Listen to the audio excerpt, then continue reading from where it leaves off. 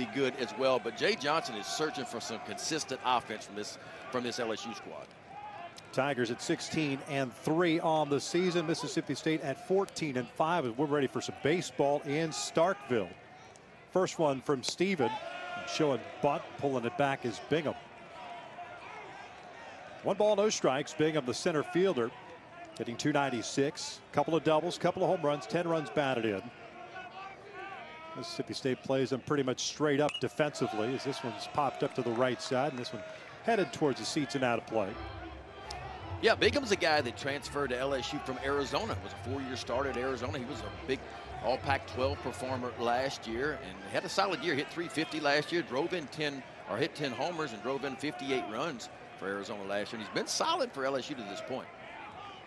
Unique thing about uh, last night's game for LSU, they had base runners. They had opportunities as the swing and a miss on the breaking ball. So it's one and two now. They uh, they left nine guys on base as far as men in score position. Over nine last night with men in score position, and with men on just one for 12. So the opportunities were present, just could not capitalize against Mississippi State's pitching. Breaking ball from Stephen misses low. We're evened up at two balls and two strikes.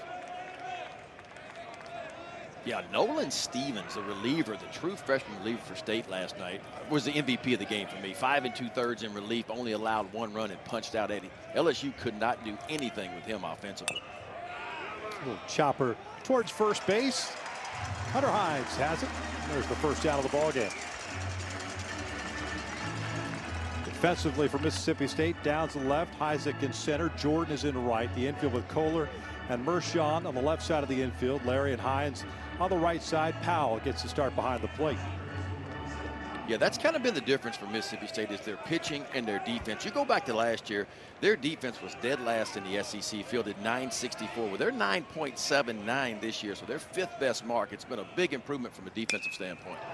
Tommy drives one out toward deep left field. This one is got a chance, and it's gone. Big fly for Tommy White. And LSU gets on the board. It's 1 nothing here at the top of the first.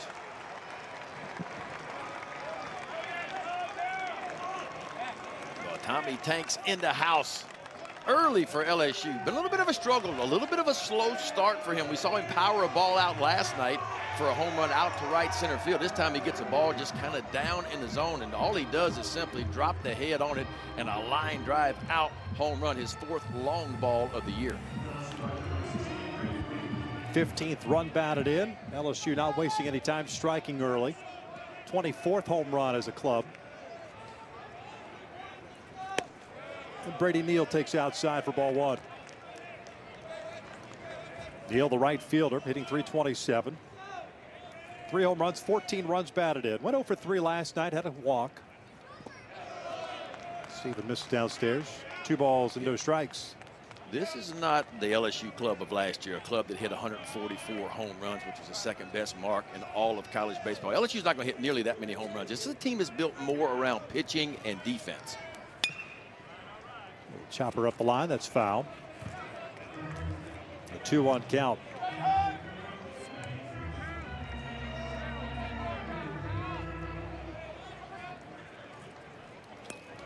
Stephen mentioned a, uh, a junior transfer from Purdue, native of Williamsport, Indiana.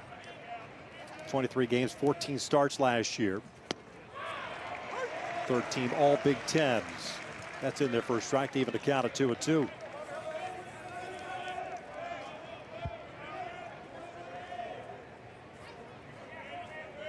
One nothing LSU on the Tommy White home run. Outside, full count.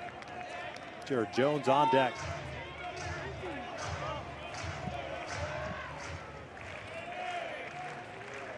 Shift is on with Neal at the plate. Three infielders on the right side.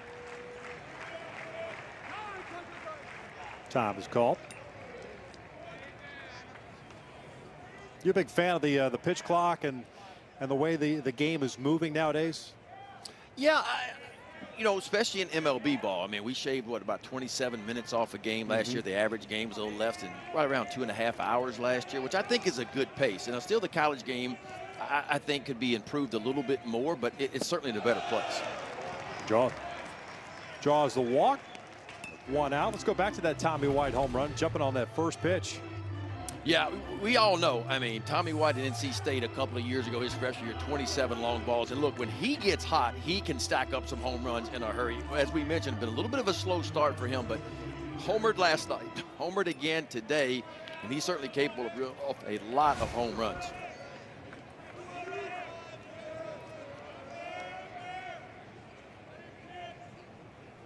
Jared Jones takes an off-speed pitch downstairs, and it's one ball, no strikes. Jones had one knock last night. It was a double, fifth of the year, hitting 295.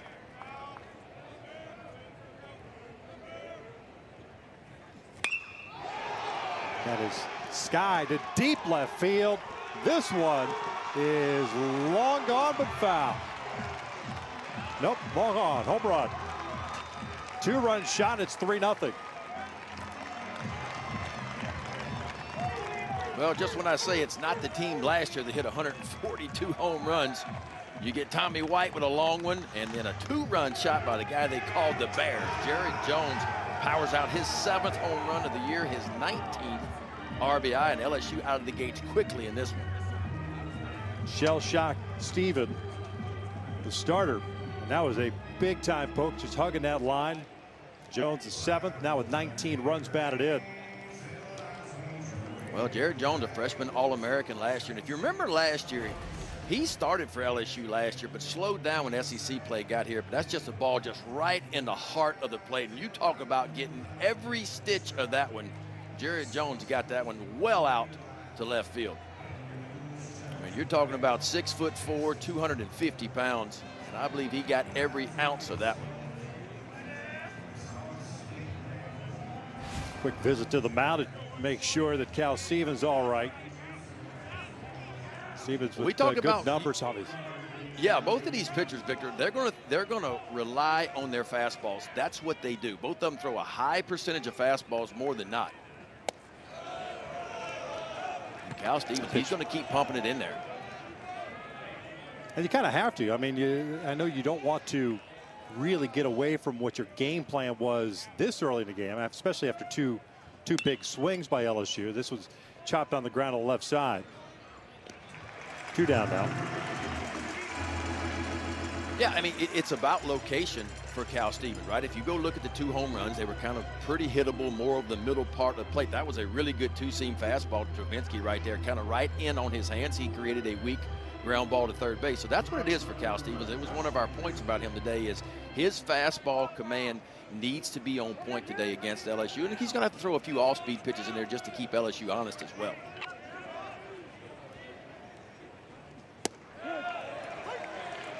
Josh Pearson looks at a strike. He's the left fielder for LSU. Homered last night. One for four overall with a couple of runs batted in.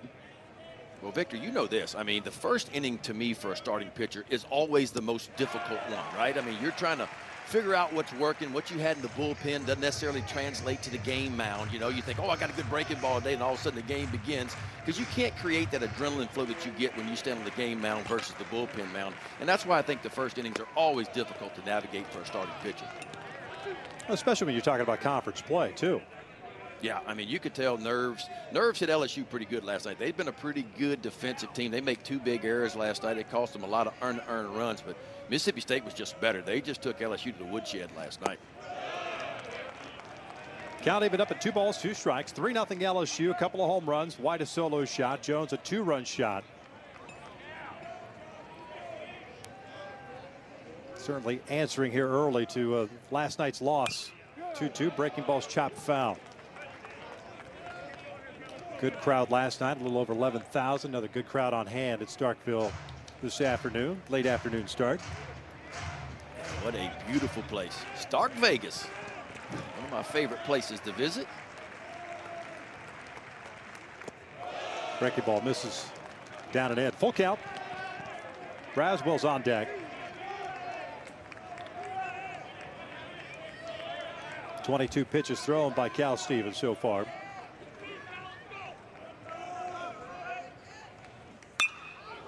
3-2, and that is up the middle.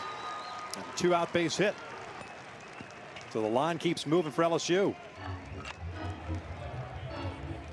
Yeah, Josh Pearson a couple years ago had a really good freshman year for LSU. Kind of backed up last year, kind of in and out of the lineup. Started at second base, made a transition this year from outfield into second base.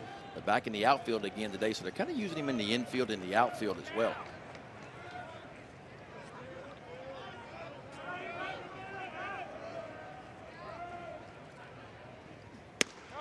Braswell takes a strike, top part of the strike zone. Had a one for three game last night, double and a walk.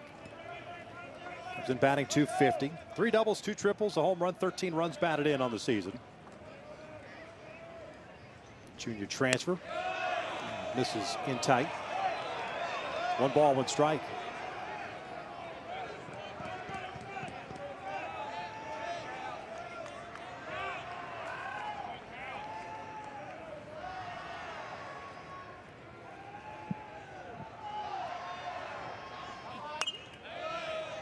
Fouled off. One and two. Yeah, Michael Braswell transfers in, transfers into LSU from South Carolina, where he was a two-year starter. The two-way player. His first year played shortstop, closed a little bit. Just played shortstop last year for the Gamecocks. One two fouled off again, so he keeps his at bat alive. Yeah, last year with South Carolina, 255. Drove in 23. And he actually led LSU in fall uh, batting average wise. Jay Johnson made some adjustments with him and felt like he was due to have a really good year. Now it's a got off to a good start, but still hitting 250 right now.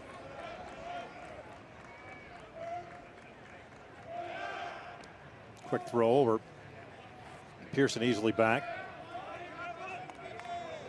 Well, the one thing that uh, is for certain for Mississippi State, their bullpen obviously is rested after what Nolan Stevens did last night in relief. Uh, five and two thirds and picking up the win for them. Breaking ball got him swinging for the third out, but not before LSU strikes. Good so far. 13 to third, six hits, has not allowed an earned run. Only two walks and 21 punchouts on the year. It's a big arm. I mean, Victor, you talk about an arm from the left side. It's sneaky. The fastball will be up to 96 miles an hour. He hides it really well. He'll spin a slider and a curveball in there as well. Monty Larry behind the count quickly. No balls and two strikes. The second baseman. 315. Couple of home runs, 11 runs batted in. He was the DH last night. Little chopper over the mound. Going to be a tough play with the speed of Larry. Milam still able to get him for the first out. Nice play by the young second baseman for LSU. Yeah, Steven Milam did not begin the year in the starting lineup for LSU, but he has worked his way into that point. You can't deny it. The offense has been really good. Not a lot of pop in that bat, but he's going to hit some doubles. He can really create havoc when he gets on bases, and the defense has been very solid. That was a good play by him and a really good finish on the back end by Jared Jones, who scoops it out of the dirt. Here's David Mershon swinging first pitch, lifts one out toward left center field. Moving over is Mac Bingham. He'll pull it away for out number two.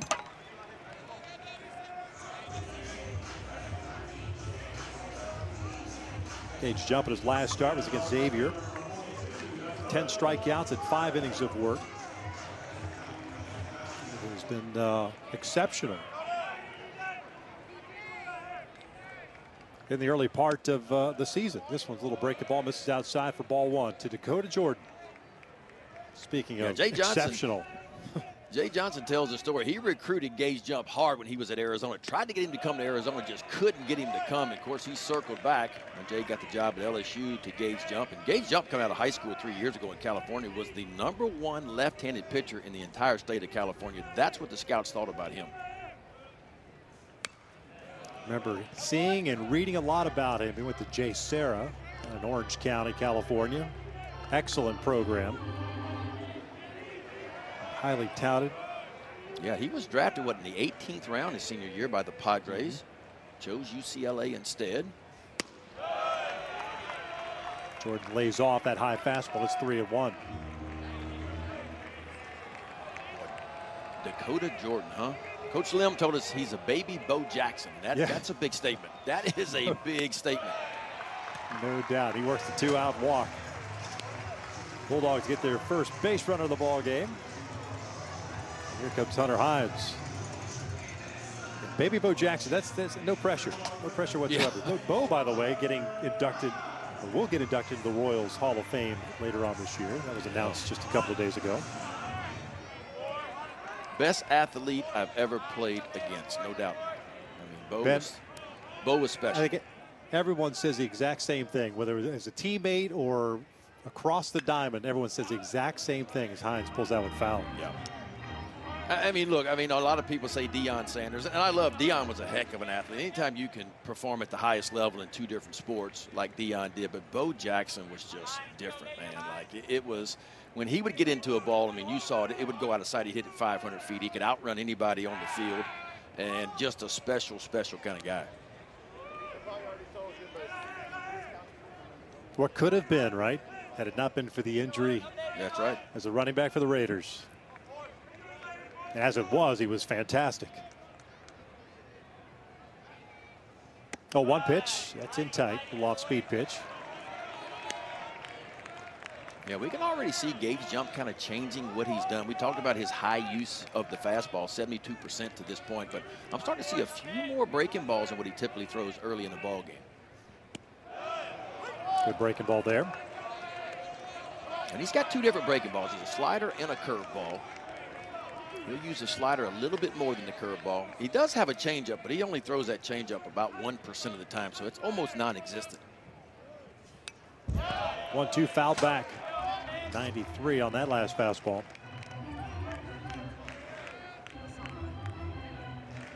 Gage Jump, not a big guy either, just six foot tall. And look, that might be in spikes too. I mean, he's listed at six foot. he certainly has an electric left arm, no doubt about that.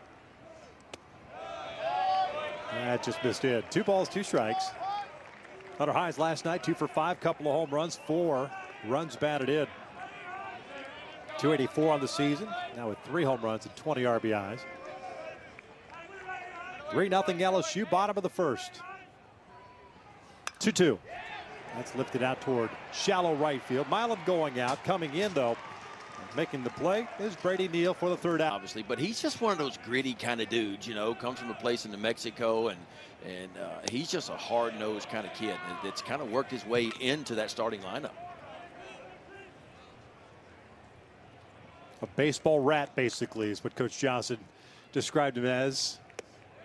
Said he'd been on Milam since he was basically in seventh, eighth grade. Loved him as a player. And now a member of LSU's starting lineup. Alex Milazzo getting the start today behind the plate, number nine hitter. We'll shoot this one out to right field. It's a base hit. Yeah, so happy for Alex Milazzo. He's a he's a young man that I coached in travel ball for five years. You know, years ago. He's a local kid in the Baton Rouge area, and it was always defense over offense. Like his defense there's not many better than him behind home plate at framing and throwing out guys and calling a game. But offensively, he struggled his first two or three years at LSU, but he kind of found his way last year. And boy, he is off to a good start. Came in this game hitting 381 offensively. Seventh start of the season for him. Back to the top of the order now, Mac Bingham. 0 for 1 as he grounded out his first plate appearance.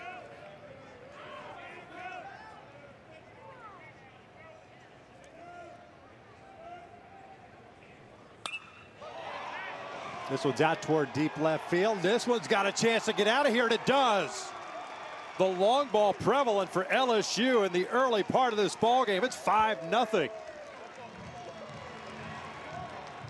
Well, we talked about Khal Stephen and him being able to throw that fastball, and he will continue to throw that fastball. The problem he's having right now, if you go back and look at the three home runs, they've kind of been in the heart of the plate versus where he typically is, which is on the outer and inner thirds of the plate. And boy, Mac Bingham on time here. Take a look at this swing. Gets a fastball. You see it's supposed to be away. You see that ball run right back over the heart of the plate. And, boy, you talk about touching one right there. That ball deep out toward left center field. Bingham's third long ball of the year. And, boy, he knew it the instant it touched his bat.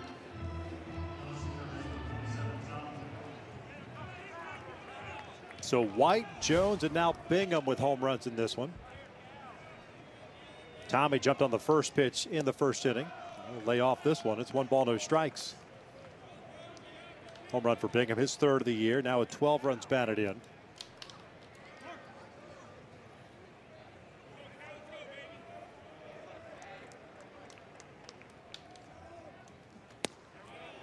Center cut fastball Take it for a strike.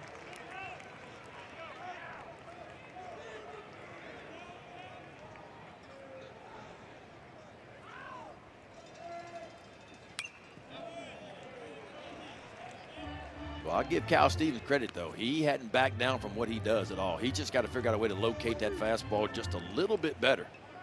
He is not backing down at all.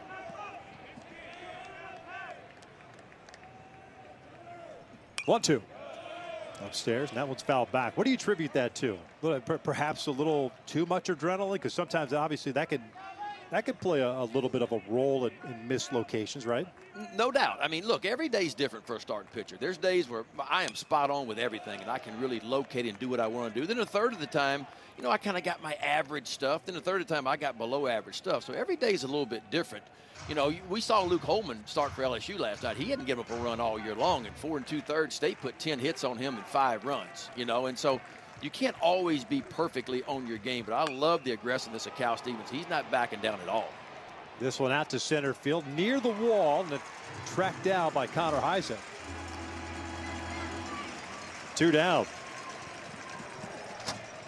Well, you can see Tommy White. He is starting to heat up a little bit. He's starting to find the barrel more and more. We talked to Jay Johnson the other day, and he said, look, Tommy White was rolling over a lot of balls early, and he said he's starting to be on time. He's starting to use the opposite field like he did so much the last couple of years, and there's another ball that's hit hard.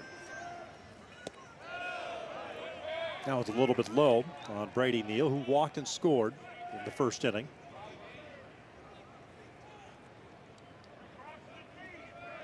Bulldogs shifting on Neal with three on the right side. Shows but why not? They're going to give you that open third base area. Yeah. Take it. Well, Brady Neal, Brady Neal doesn't play much outfield at all. Of course, he came up as a catcher last year, caught the first 26 games for LSU last year before he got hurt. But because of the bat, Jay Johnson wants him in that, in that lineup, and he's out in the outfield today. This one's lifted out toward left field, playable for Aaron Downs. And there's the third out, but uh, the long ball continues to be part of LS 21 SEC season. So I don't know, Ben, I, I, would say that perhaps there's a little pressure on Chris Lemonis to kind of turn things around this year.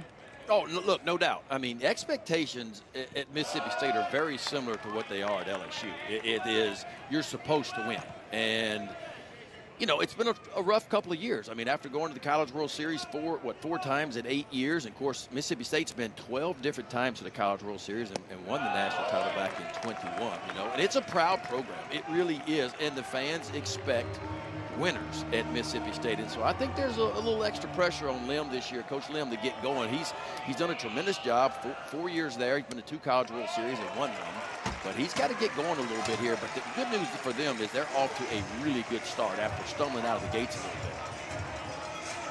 Connor Hujsak works the uh, leadoff walk. You take a look at the uh, the records year to year after the national championship here in 21. 26 and 30 and then 27 and 26. And I mentioned the record in the SEC, which to me I think probably holds a little bit more water as far as if you're going to judge somebody, uh, considering how yeah. difficult this conference is and how good it is deep. Last thing you want to do is kind of roll into a couple of seasons where you're not in double digits at the very least in wins. Yeah, and you go back and look the last couple years, their offense has been solid. It's kind of been middle of the pack. It's been more about the pitching or lack thereof and the defense. You know, it just hasn't been that good. This one off the glove of Milo. Goes into shallow center field. Moving to third is Hujsak, and Aaron Downs is on board with a single. Stay with runners at first and third. Nobody out to start the second. This is a very aggressive running team Mississippi State has, you know, and they're going to take an extra 90 whenever they can. Just a bouncing ball right up the middle. Gage Jump can't get it. It goes off of the second baseman, Milam's glove, and when it kicks out towards center field, Isaac easily goes first to third. So here comes State all of a sudden, first and third, and nobody out. That's one of those plays, even if Milam does come up with it, I don't think he's got an out. The only thing you do is save 90 feet. Have been a tough play for him. One ball, no strikes on Logan Kohler, senior third baseman. Transfer from Memphis. Oh, pop this one up to shallow center field. Calling for it is Bingham, makes the catch, no tag. Oh, one hop throw all the way to the plate. One down. Yeah, Bingham has mostly been playing left field for LSU. He moves into center field. I think this is his first start in center field this year. It is. Pearson was in right last night, moves over to left. Paxton Kling's kind of been the everyday center fielder for LSU, but he's struggled offensively out of the gate. So he's getting a day off, and Bingham goes from left into center field.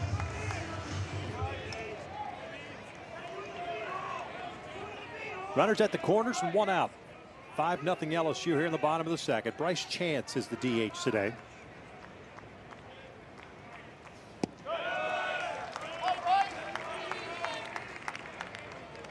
State's one of those clubs you better keep an eye on them when they get on the bases. I mean, they come in with 27 stolen bases. That's fourth in the SEC. They were fourth last year in the conference with stolen bases as well. One ball, one strike on chance. Sophomore hitting 232. That's four doubles, a home run, and 10 runs batted in.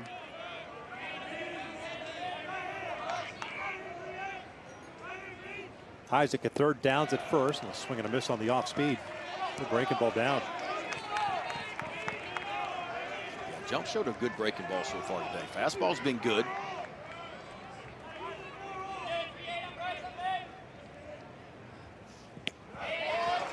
Falls in the dirt. And that will bring home a run for Mississippi State. Not much that Milazzo could do on that ball as a shot toward the mound area. That's exactly what I'm talking about for Mississippi State. They are uber aggressive on the base pass. And this ball didn't kick very far away. It wasn't kick 10 feet from home plate, but if you get the right lead down at third base and your momentum is going that way and you read the ball at a down angle, and that's exactly what Isaac did. He sees it, see him walk it up right there. That's perfect timing. Sees the ball kick away and easily scores on a ball that never got more than about 12 feet from home plate.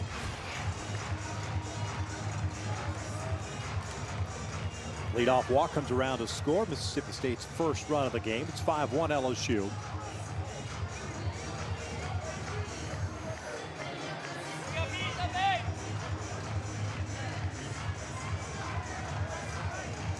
It's Johnson making his first trip to the mound.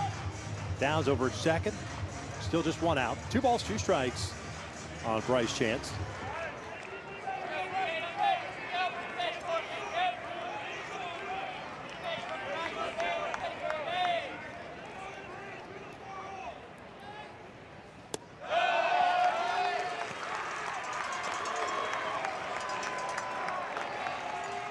Full count. Number nine hitter Joe Powell, the catcher behind the plate today, is on deck for the Bulldogs.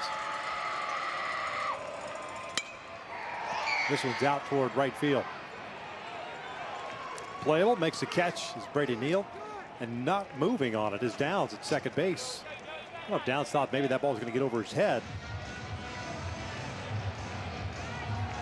Yeah, he stays at second base. Yeah, he doesn't have a stolen base this year, so I don't know how much speed he has. But Brady Neal, obviously a catcher, has a big arm out there, and he got to that ball pretty quickly and got it in.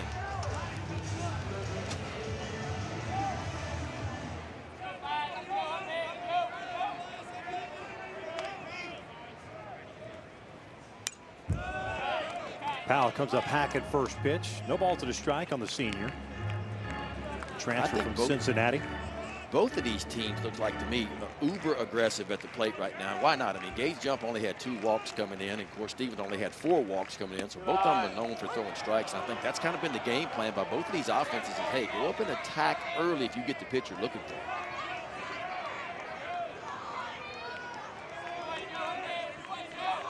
No balls, two strikes, two outs. Five to one LSU.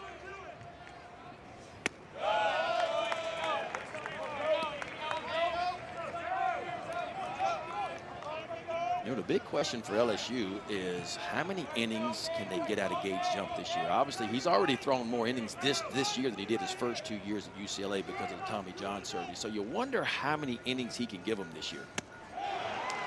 Got him swinging on a high fastball. Third out is recorded. They're going to bring in Gavin Black, who's making his sixth appearance of the year. Six foot, 195 pounder out of Georgia in his second year. He's worked uh, five appearances. They've all been out of the bullpen, giving up six hits out of those five innings. He does struck out nine, giving up two earned runs and walked four along the way.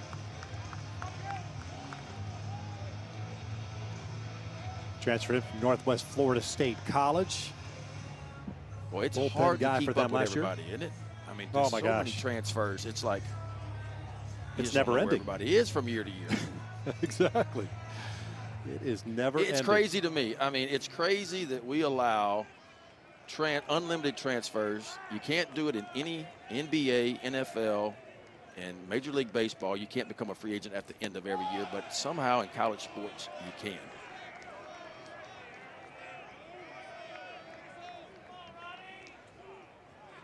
just makes it that much more difficult from a from a recruiting standpoint, especially not so much from the Power Five perspective, but uh, anybody else. That's why the mid majors, you almost feel as if they're starting to become the JV for for a lot of these Power Five teams. That, that's all they are, unfortunately, for them, is they've become a feeder programs for the bigger schools. And that's where we are now. But you got to play Can the it- game. If you don't play Yeah. the game, you, you're going to get left behind, you know, and that's kind of where we are now. If you like it Is or not, you, you got to play the game. I think there's definitely a fix. But, but I don't know if the NCAA wants to go there or not, you know, but there's a fix.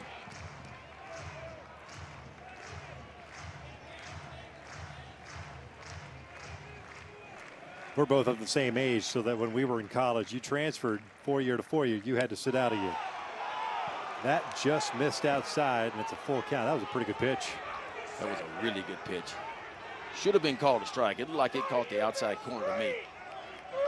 Home plate umpire Ronnie Teague didn't think so, though. Here's the payoff. Breaking ball, and that misses low. Yeah, I tell you what, if I'm on the bump right now, I'm pretty upset because I got to have one of those two pitches. I mean, I thought the fastball could have been called a strike. This breaking ball. Now, Jones is a big guy, but it's not where he catches it. It's where it crossed home plate. And it's hard for me to believe. We had a side angle of that. And you can see Coach Lemonis is upset. As he should be. Yeah,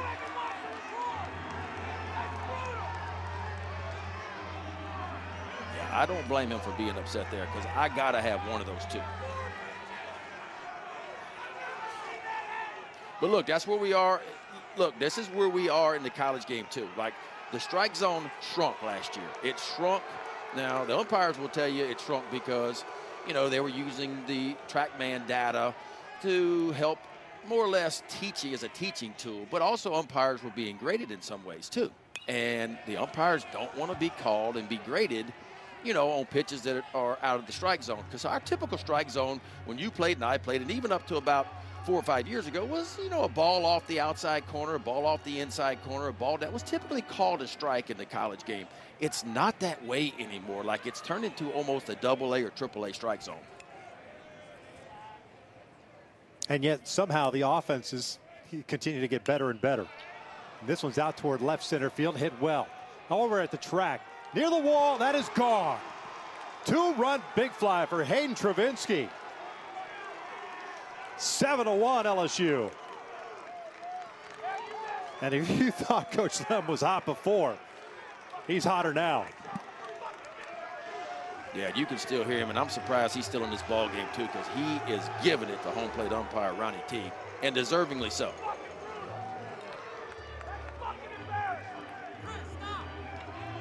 He is saying, You're my number one umpire, is what he's saying.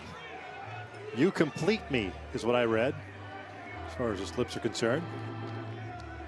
Nobody on, nobody out. A walk, disputed walk, and then the home run by Travinski, his fourth home run of the season.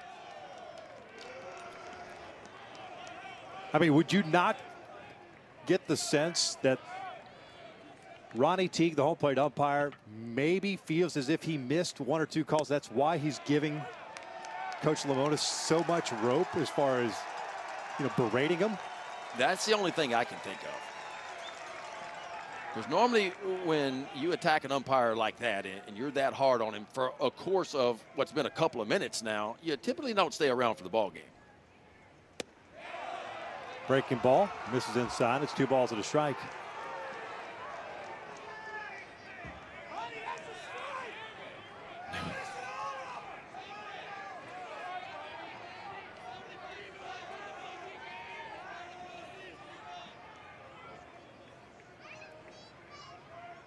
Pearson, the left fielder, had a single in his first AB.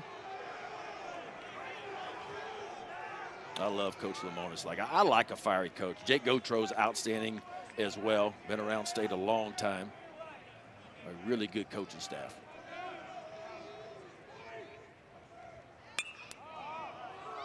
This was lifted in the air down the right field line. Tough play. Dakota Jordan calls everybody off. One down. Go back to Travinski's home run. Well, Travinski's got some big time pop. I mean, a big guy, fifth year senior. You can see again another missed spot. You can see the catcher. I mean, you see where Powell set up. Powell set up right on the inside part of the plate, but this ball is elevated, but it's right down the heart of the plate. Travinski's one of those guys that he don't even have to really square it up to get it out of the ballpark. He's got that much pop at his bat. This one's lined towards short and caught by Mershon. Two down.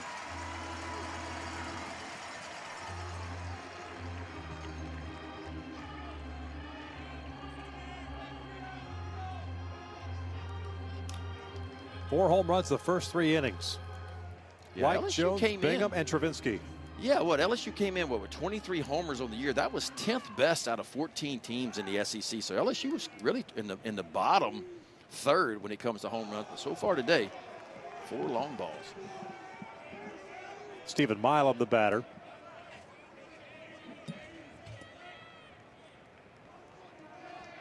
Milam saw one pitch in his second inning plate appearance and lined out to second. 0 for 1 for the switch hitting second baseman.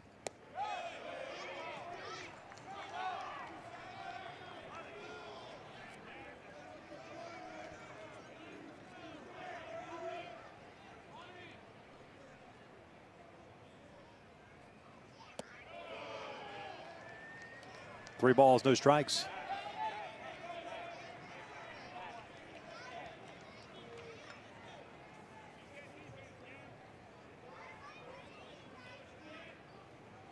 Milo came in batting 350, three doubles, no home runs, 13 runs batted in. Run a little bit, four for four in the stolen base category.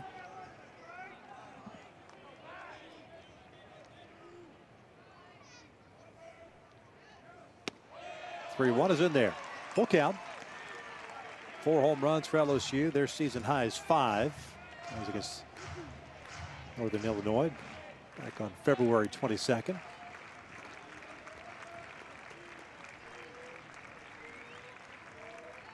And a 3 2. Breaking ball misses.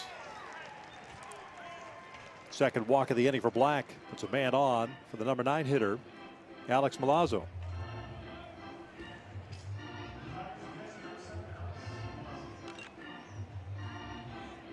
Johnson has done a fantastic job while at LSU. Winning it all last year. 54 win season.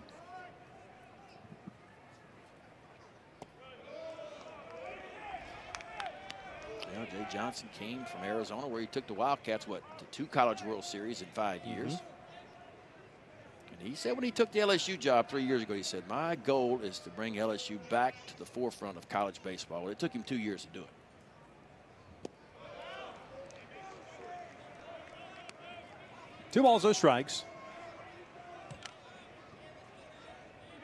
Milazzo with a single, a run scored in the second. Gavin Black in relief of Khal Stephen, who went two innings, gave up five runs all earned. Milam started to go. Throw back to first base, and he's back in there.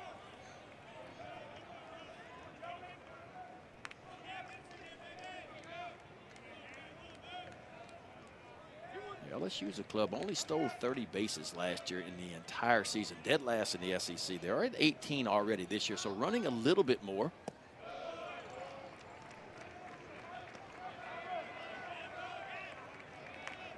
Of course, when you're hitting 140 some something home runs like they did last year, I guess you don't want to run yourself. it was more of the Earl Weaver uh, style of Yeah. baseball. It is a three-run shot. That's it. And Black is nowhere near the strike zone. That's the third walk he has issued in this inning. Back to the top of the order we go for LSU with Mac Bingham coming to the plate.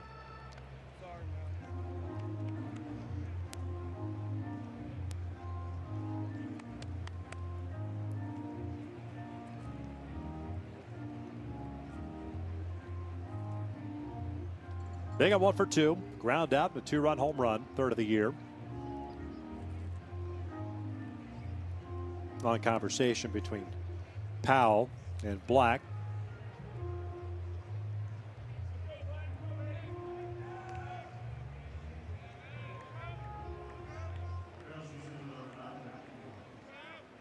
It's only a matter of time when you knew this LSU offense was going to get it going. Like I said, they had plenty of opportunities last night, just couldn't cash them in. Today, the long ball has been certainly prevalent in the first three innings. As Bingham takes the old backup slide piece in for a strike. Yeah, it's an offense coming into this game. We talked about it early. If you missed it, they've been really struggling. I mean, their last seven games coming into this one, they're only averaging about 4.9 runs per game. Check swing. I Said he went around.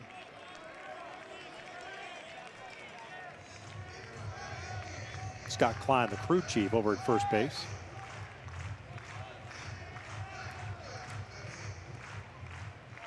No balls and two strikes. 7 1 LSU here in the top of the third. Breaking ball rolled foul.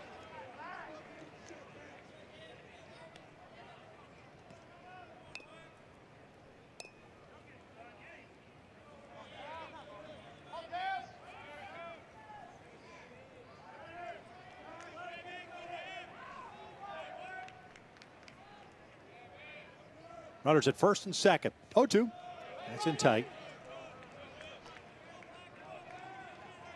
And from a body language perspective, it doesn't look as if Gavin Black's having a whole lot of fun. Now, granted, I know he got squeezed on the couple of pitches, the very first batter of this inning. I can understand why Coach Lem was as hot as he was. You, you score one run on a wild pitch, you want to keep this game as close as possible. Did he go on this one? He did not. Well, I think as a pitcher, when you start to see balls fly out of the ballpark, right, it, you, all of a sudden you lose a little bit of your aggressiveness. And it's only natural to do that. You try to make the perfect pitch, and a lot of times end up being ball four.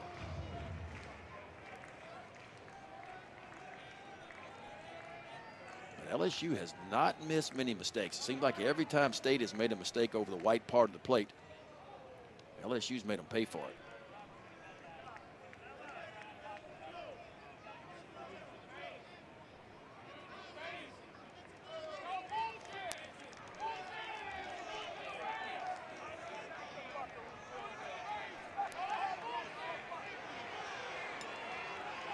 Coach Lemonis is coming out. He's hot about something.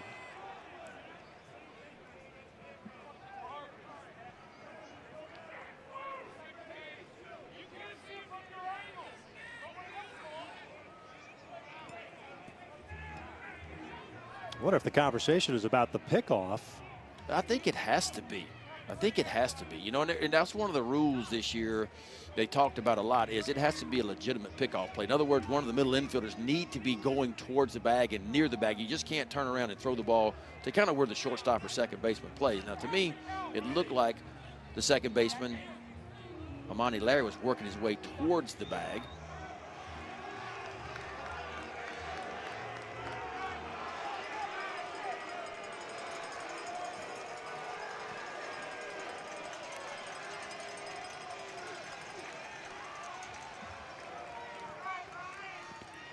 3-2 is down low. So it was about the uh, the play at second base. So Black got charged with a ball. That made it 3-2 instead of 2 and 2, and that's why the runners were in motion there.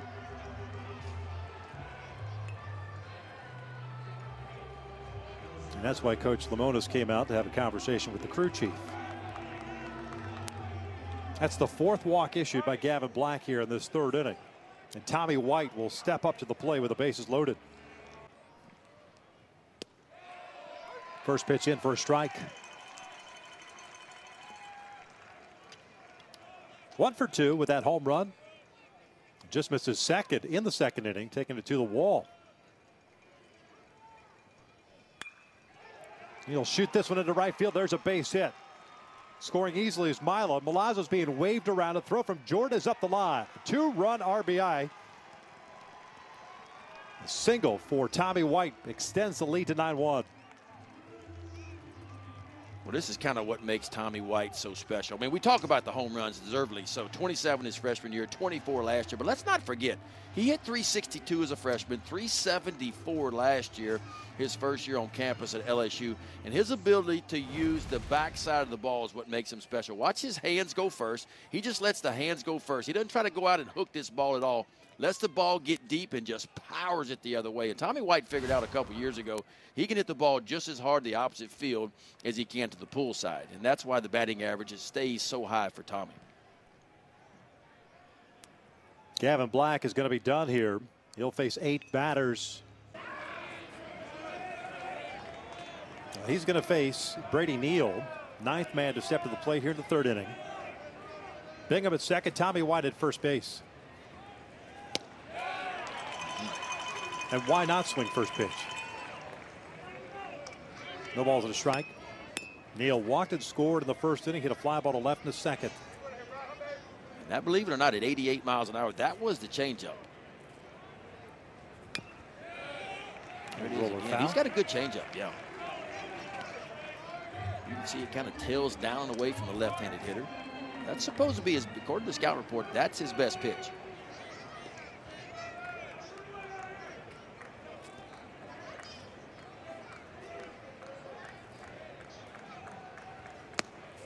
Upstairs. One and two.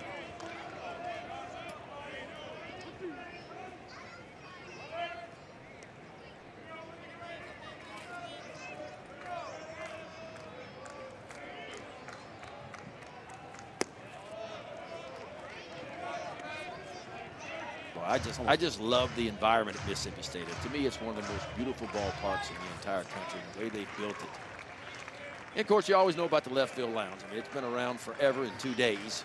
It is one big party. Dead ball. Ground ball. Over to the right side, and they'll go to second base, get the force out of Tommy White, but not before LSU strikes for four out of the third inning. LSU starter Gage Jump having to uh, wait a little bit. I'm, I'm sure, just like any starting pitcher, loves the offensive help. Face the top of the order. It's one, two, three for Mississippi State. Larry Mershon and Jordan. Yeah, it's difficult though. You know, I mean, when you sit on the bench for 26 minutes like he just did, I mean, you got to get up and get moving around. If there's some space in the back, maybe play a little bit of catch to try to stay loose if you can. Of course, it's always a good thing when you're sitting on the bench for a while. That means your team is putting up some runs for you. Also, it can take you a little bit of time to kind of get back in the groove as well. Does it put you in the mindset of trying to throw, just come out and throw some fastballs to kind of get a feel for the mound once again? Yeah, no doubt. I mean, always when I, when I was on my game, and I think most pitchers like this, I, I like to get right back out there again. You know, you, again, you don't mind a close game. You like the run support too, but I like to just take the ball, maybe get a run or two, and go right back out again. It's difficult when you get 26 minutes in between. Our SEC Network Baseball Game of the Week is the series finale between number eight Florida, number two LSU, and Baton Rouge. Coverage begins Sunday afternoon at 3 Eastern and 2 Central. Mershon takes downstairs. That's the third walk, by the way, given up by Gage so far. Yeah, only had two coming in of the season. Mershon hit a fly ball to center field the first inning.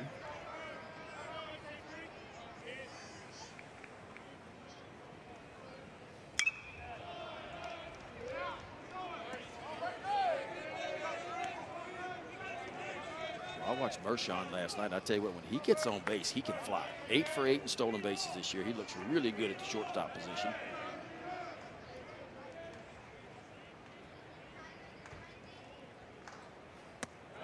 One, two, way outside. Nice job by Alex behind the plate to just nag that ball.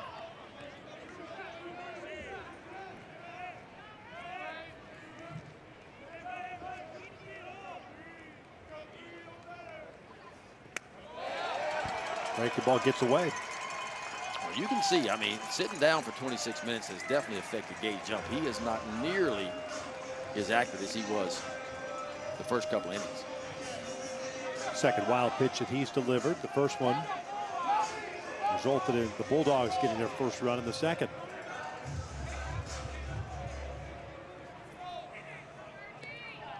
New baseball being put into play.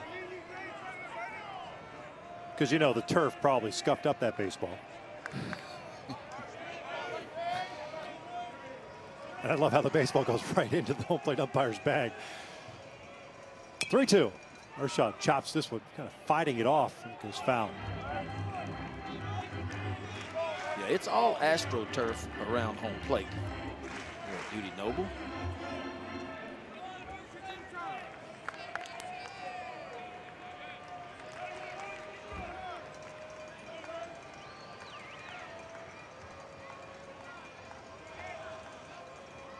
Another 3 2.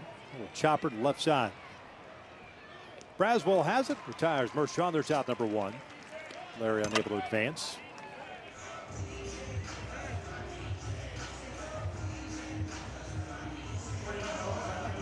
Next up, Dakota Jordan.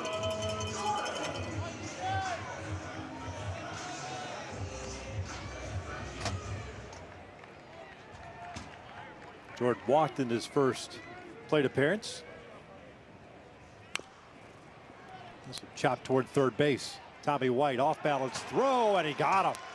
What a play by Tommy White. Off balance and everything. Two down. Yeah, who, who says you can't play third base, Tommy White? Obviously, it's bat over defense all day long with Tommy White, but he has worked really hard on his defense. He had a couple of nice plays. He's playing deep where he should be off of Dakota Jordan. Comes in and watch him quickly get the ball out of his hand. I mean, right on the money over the first base to Jared Jones. Nice play by Tommy White. Made a nice one last night on a in-between yeah, hop as well. That's right. He's projected to be a first-round draft pick. I think pro scouts are just trying to figure out right now where he's going to play in pro ball. You know, obviously the bat works for Tommy White. The question is, can he stick at third base?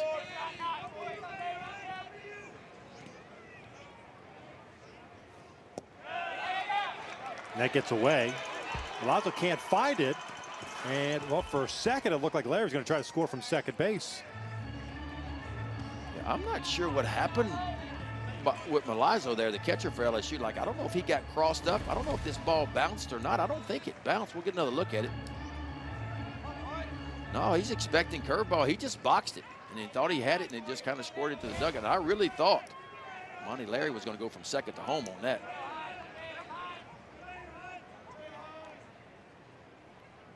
Two zero. It's fouled off. Two balls and a strike.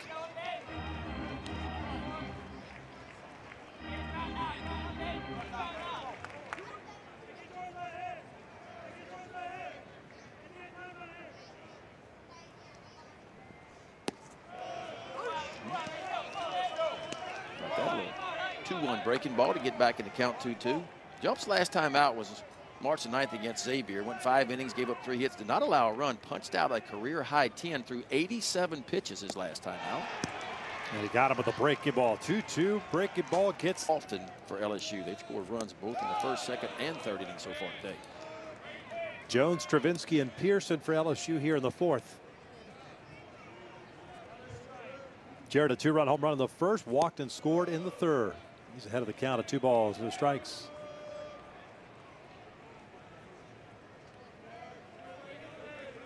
Home run for Jones, his seventh of the year. Now with 19 runs batted in, he'll hammer this one out toward left field, but right to Aaron Downs. And there's begins tomorrow at noon Eastern, 11 a.m. Central.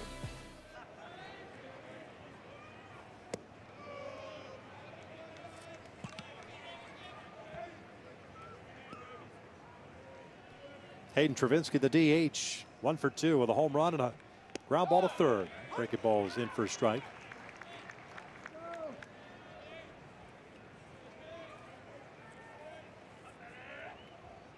Three in the first, two in the second, four in the third for LSU. Ball has some run underneath the hands. Yeah, that's a good changeup by Ligon. Boy, you can tell it's got some good sink down and away from left-handers, and of course down and in to right-handers. Throws it hard, too. 88, 89 mile an hour changeup. Fastball's been up to 95.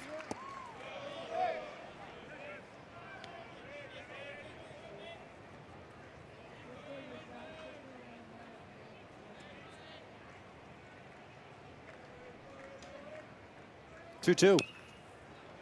Went back to that off speed pitch, and why not?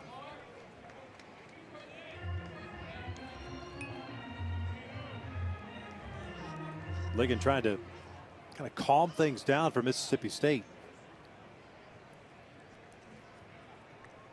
Time is called. Like something had fallen on the uh, warning tracks that Dakota Jordan had to go over and get it. 2 2. Looks like he may have gone around, tried to hold up, and he did, I guess. Surprised they didn't check him. Yeah. Full count. Upstairs. Another walk. Well, you be the judge of this at home. Did he go? Here's a side angle look at it. Fastball that ran kind of up and in.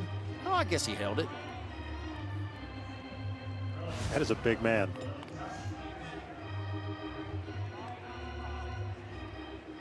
Yeah, Travinski, one of the three-headed monsters behind home plate for LSU. Now, he's going to catch a little bit, but mostly going to be a DH, occasionally play first base.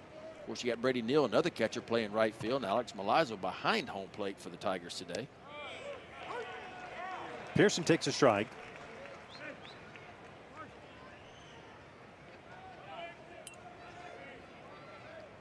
LSU has picked up six walks in this game so far.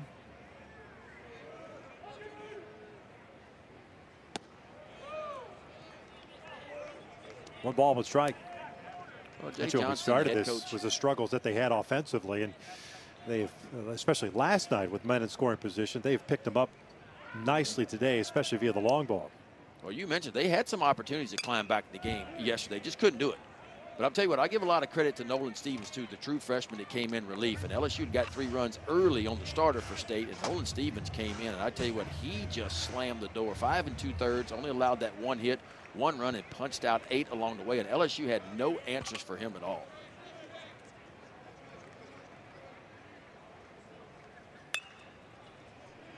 Ground ball, weakly hit towards second. They'll go second base for the force out. They'll take the uh, lead runner, Travinski, out for the second out of the inning.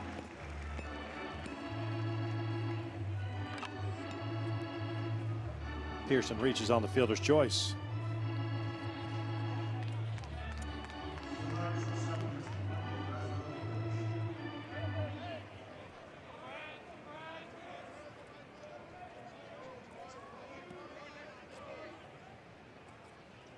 Braswell's 0 for 2. Strikeout and a line out.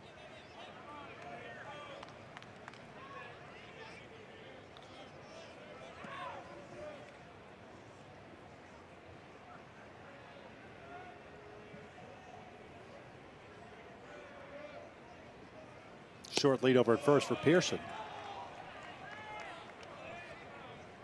It's two balls and no strikes.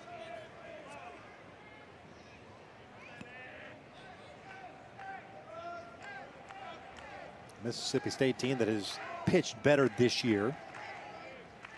But uh, clearly today, just a little bit of a shell shock from the early part. They just have not been able to settle in. LSU has, has not allowed them to settle in on the mound.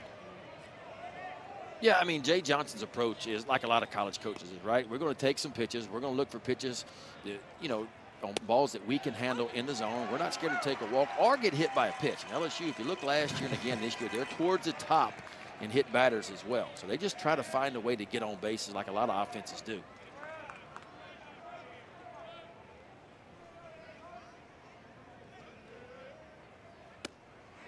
That is a walk, the seventh issued by the Bulldog staff.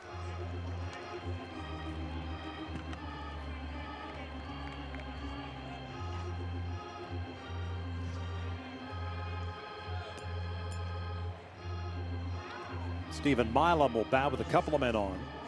And two outs. Milam with a line out in the second, and he walked and scored in the third.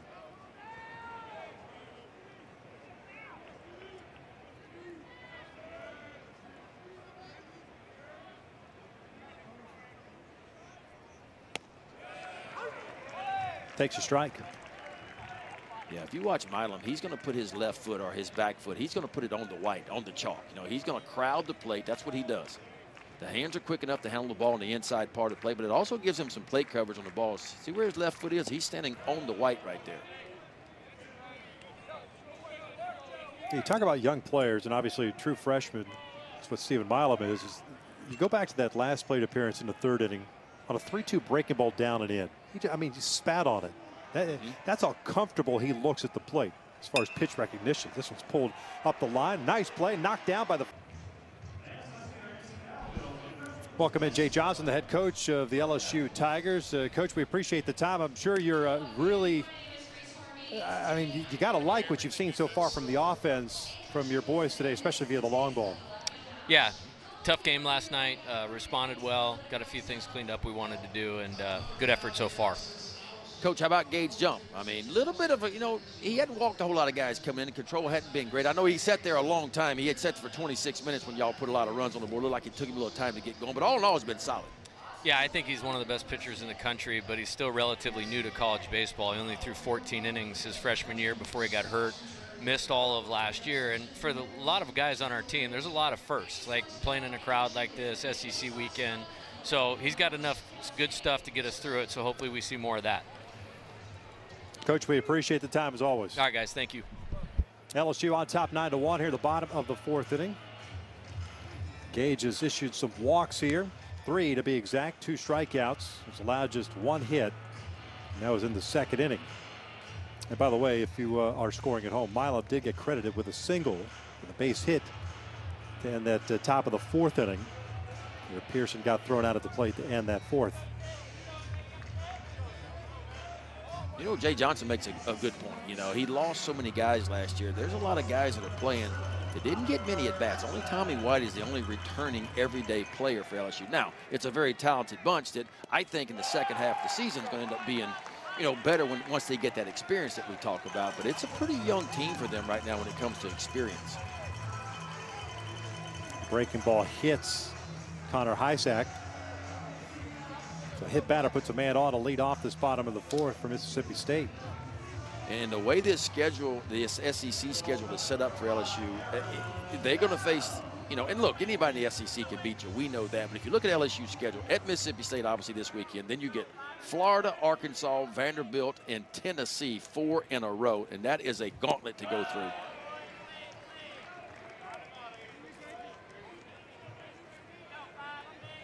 Especially the way that these these offenses continue to swing the bat. I mean, uh, whether it's non-conference games or even as we saw yesterday, and especially in the SEC, the number of runs that were scored uh, in the first day of action of SEC baseball weekend.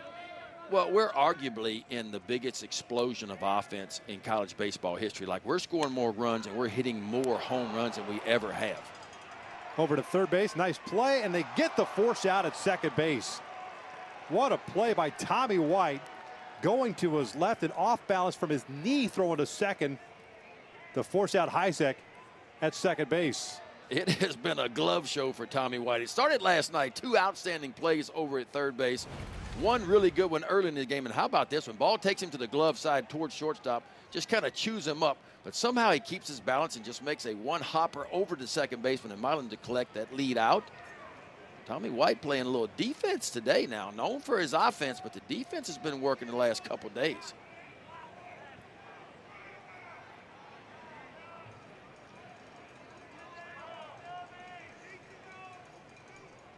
Well, the call at second base is out. And it was Jay Johnson who came out to have a conversation with the umpires. That's an out.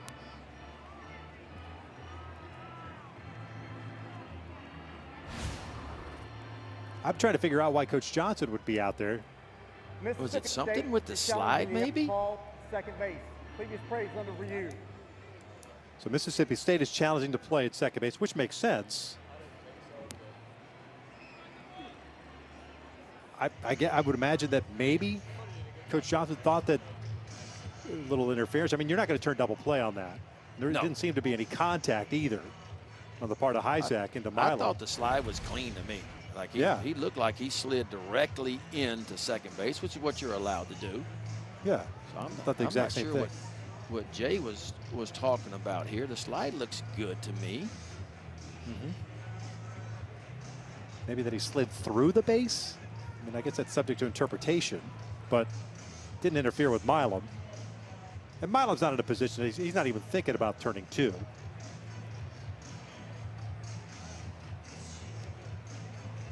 Yeah, that looks As said, the call of the field is out.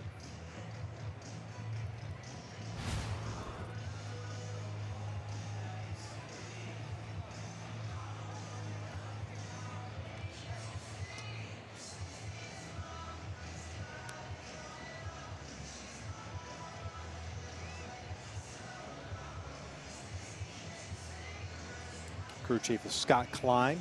He's over at first base today.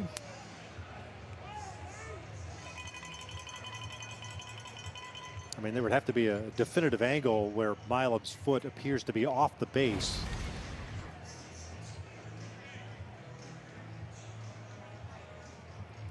It's like my eyesight in the morning when I get up. no chance. Before you put your glasses on, huh? That's exactly right.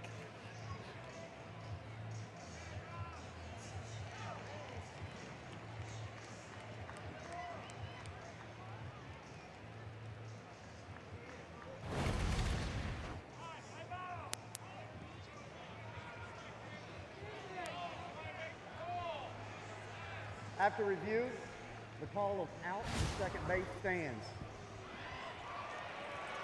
So one down. Mississippi State has one challenge remaining for the game. You know, and Milam's foot may have come off, but I don't know if there was enough evidence to really overturn that. That's maybe when the call stands on the field. Yeah, you'd almost have to have a like a left field camera shooting back toward the infield, see if there was separation there. But what a play by Tommy White. Second defensive gem that he has had today.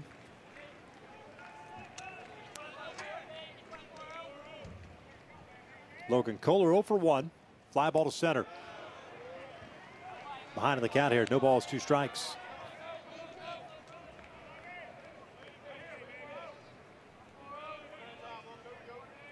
Kohler last night, two for four with an RBI and a walk. We'll shoot this one out toward left center field, giving chase on his Bingham. It'll fall in for base hit. Rounding second, now heading to third base is Downs. And it'll go as a double for Mississippi State. Kohler second of the year. That was a nice piece of hitting by Kohler, too. Breaking ball on the outside part of the plate. He didn't try to pull it, didn't try to hook it. He just simply let the hands go first and barreled it out the opposite way toward left center field. This is a really good swing on a breaking ball. Look, that, that ball's borderline even being a strike. Easily going first to third here, no doubt about that. It was going to be a stand-up double all the way, even with Bingham bobbling the ball, I think, out toward center field. You know, it almost appeared as if Downs thought about, there's a hesitation as he rounded second base. This one's shot down the line foul. No balls a strike on Bryce Chance. Second and third, one out. Chance at DH skied one to right in his first at bat. He's 0 for 1. This one's down the left field line, hit well toward the corner, and that is gone. A three run home run for Bryce Chance, second of the year. It is 9 to 4 LSU. Well, that's how you climb back in the ball game right there, folks. Hanging breaking ball. Bryce Chance out of that eight hole. A Weaver, a three-run shot. Mississippi State starting to climb right back in this thing.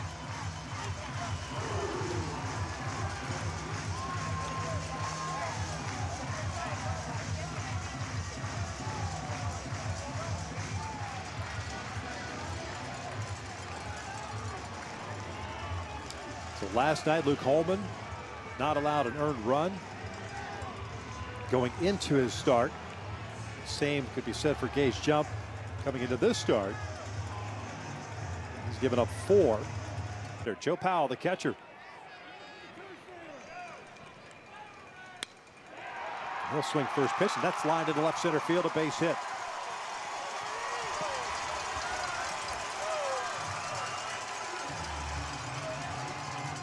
Of a sudden here, here come the dogs, huh? Boy, they had a good mm-hmm. night last night, too. They had some big base hits, a lot of two-out base hits. Matter of fact, half their runs they scored last night were in two-out situations. They were really good runners in scoring position. You mentioned it early, 7 for 14. LSU 0 for 9 last night runners in scoring position.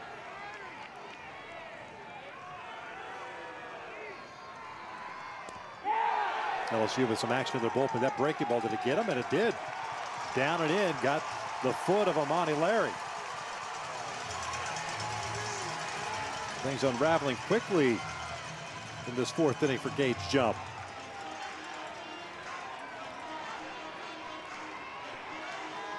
Looks like the right-hander Will Helmer is getting heated up for LSU, and he is quickly getting heated up.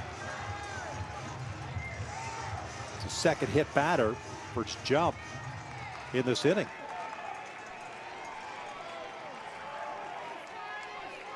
David Mershon. Switch hitting shortstop up. 0 for 2. It's way outside. What are you seeing between uh, this inning and the first couple of innings for Gage Jump, Ed? Well, one thing I'm seeing is the ball's up a little bit more than it was the first couple innings. Like the, the ball is up in the zone a good bit more.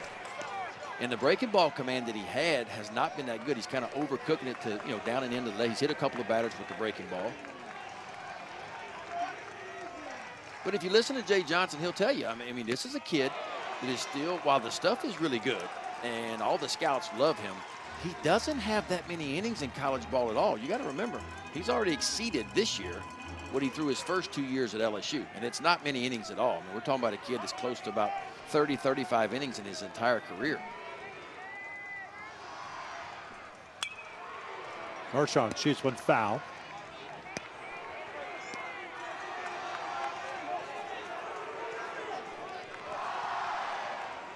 Two balls, two strikes.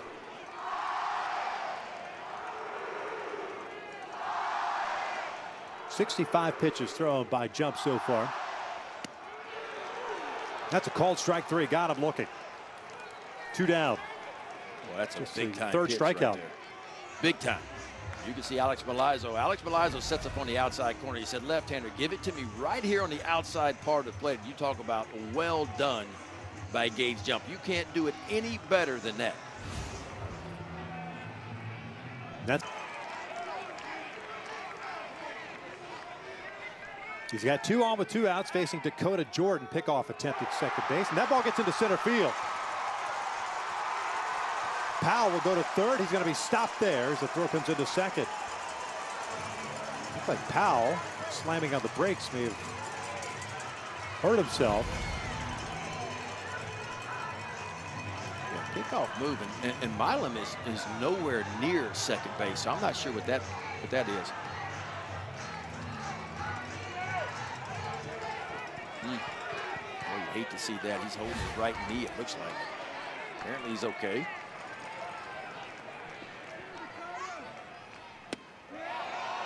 Sinker misses down and in.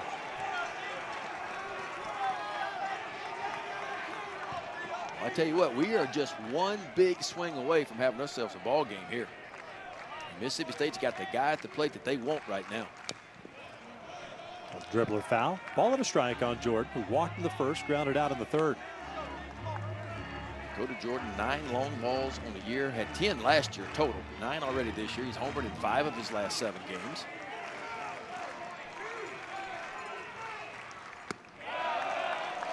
Two balls, one strike.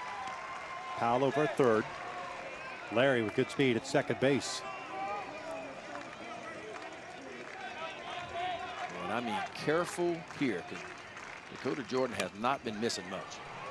This is bounced it over to Tommy White, gets rid of it quickly, and the third out is recorded. But Mississippi State strikes for three on the home run by Bryce Chance. Four complete, 9-4 LSU. On the map and got him going.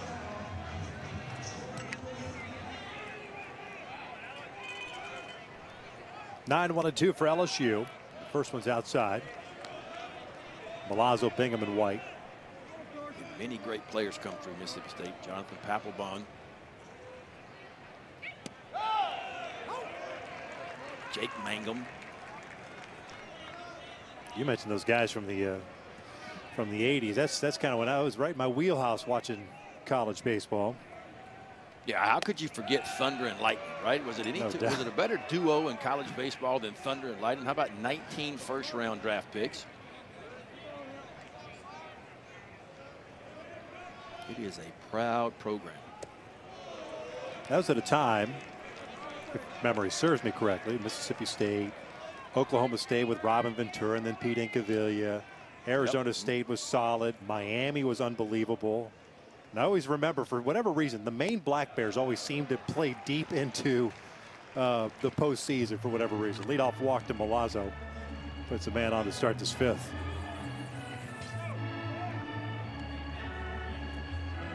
Yeah, I mean, that, that was coming out of high school, that was one of the visits I took. I mean, it was LSU, Texas, or Mississippi State. And I loved Ron Polk, and he's still a huge friend of mine, you know, and I hear from him all the time and love chatting with him. And of course, he was one of the coaches on the Olympic team. But I thought hard about going to Mississippi State because at the time they were the program. There was some guy by the name of Bertman that took over for LSU about my junior year in high school. And he goes to the College World Series my senior year. And I said, okay, this guy might be okay. He might he might do okay. I think I'm gonna go to LSU, you know. And so he had nobody knew what was going to happen with Skip Bertman at the time. But Ron Polk ran a first class program for sure.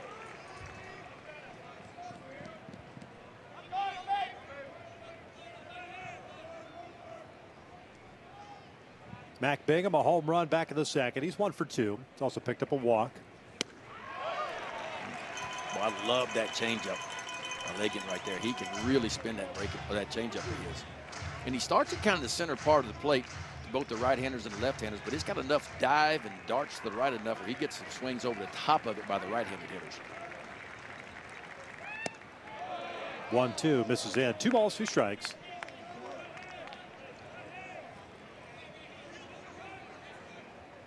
The evolution of the changeup over the years, huh? I mean, in our mm -hmm. time, and you going back 20 years ago, a changeup was a pitch that was made to be hit. But now a lot of guys are throwing swing and miss type changeups. I'm surprised it's not thrown more often. Eh, you know, you hear guys that, well, if you're righty, don't throw a changeup to a righty. If you're lefty, don't throw a changeup to a lefty. If you've got a good changeup, then throw it, especially yeah. if you and get if you some got, outs out of it especially when you have the movement like that. I mean, our changeups, mm -hmm. we didn't pronate like they do now with the circle change. We threw almost a straight changeup, which, you know, killed the speed of it, but it didn't have the action to it. And that's why it's turned into a swing and miss pitch now because you get the arm action like a fastball, so it looks like a fastball, but then it's a lot slower and it's got a lot of movement to it now. That's the one everybody's throwing now.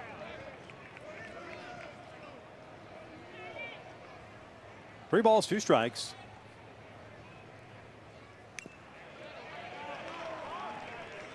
It's foul at the plate. Tommy White on deck. 9 to 4 LSU. Mississippi State picking up the opening game of the series last night. 10 runs on 16 hits.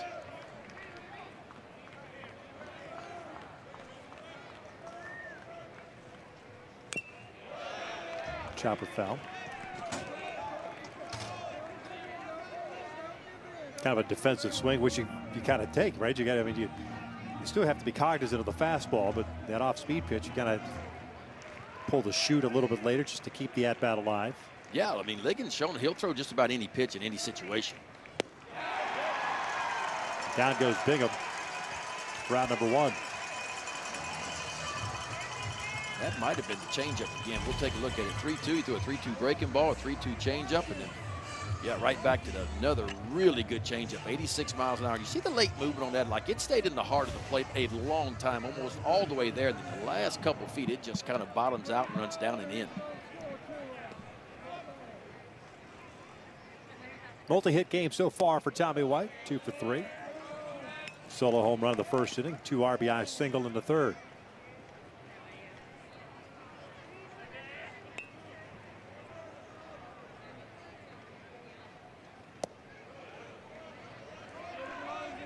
Well, Tommy White's in a position now. I mean, he was so protected last year. He had Dylan Crews hitting around him. He had Jobert hitting around him. He had a lot of guys hitting around him to put up some big-time numbers. So he had to be pitched to. This year, it's been a little bit different for him. You know, he's seeing a lot of those pitches right there. He's not getting many fastballs. You know, he's getting a lot of 2-0 changeups, 2-0 breaking balls. You know, anytime he's ahead in the count or behind the count, it seems like they're fishing a lot of off-speed stuff. So he had some, he's had to make some adjustments this year and kind of sit back and try to hit the ball the other way. There's another really good changeup. And that's kind of how they pitched him this year. And I think early in the year watching him, he was kind of rolling over a lot of stuff, still thinking he's going to get a lot of fastballs. He just hadn't gotten many of them. Look like he went around. Back-to-back -back strikeouts, two down here the fifth. Carson Ligon got that changeup dancing like a minnow in shallow water right now. How about that? That was right on the outside part of the plate. And watch this one dance, too. I mean, just bottoms out. That's two outstanding changeups in a row.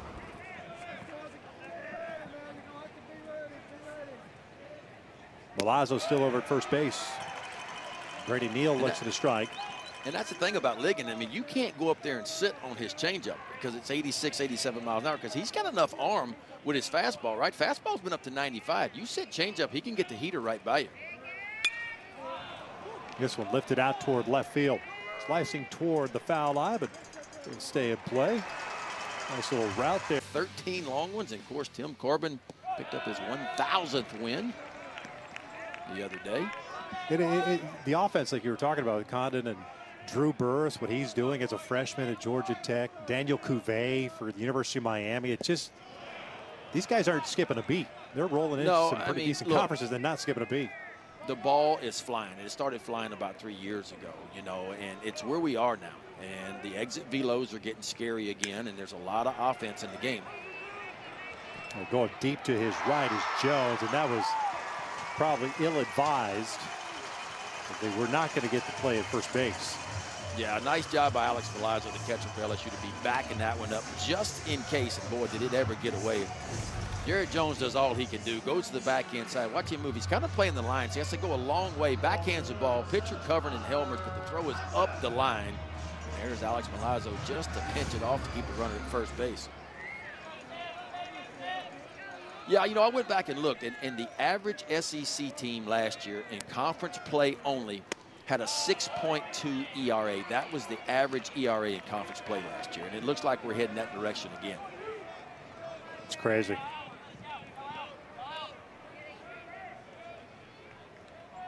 Jones got charged with an error on that play. Man on. That's a tough Almost error delivers right a strike. that play. Yeah.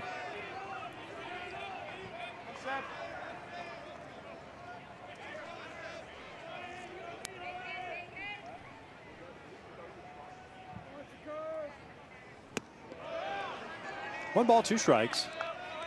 Connor Hujsak, the center fielder, walked. His first plate appearance was hit by a pitch in the fourth.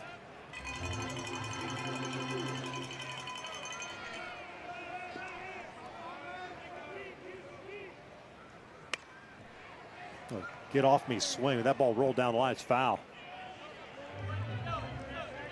That's kind of what Will Helmers likes to do. Again, the fastball's not a high velocity fastball, but he, he's changed his arm slide a little bit. He's kind of dropped down to a, a three quarter, low three quarter, throwing a lot of two seamers now, trying to get that horizontal movement. That was a really good fastball right in on the hands of Hujsak.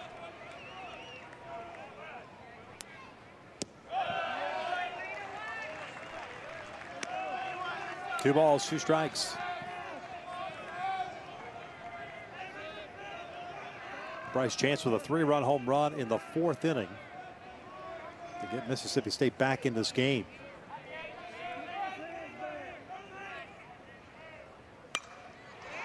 This one skied out toward right center field. And back on it is Bingham and out of the track. He'll haul it in. One down.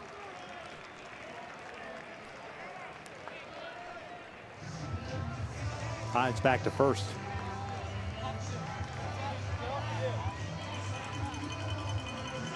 Yeah, it's, it's really been kind of the bottom part of this lineup for Mississippi State today so far. You know, Downs one for two. Kohler one for two with a double. Of course, you mentioned Bryce Chance, three-run homer by him, and even Joe Powell down in the nine hole is one for two as well. That one just missed down and in. The ball his no strikes. Uh, Downs who singled in the second, reached out a fielder's choice and scored in the fourth. One for two so far. Way upstairs.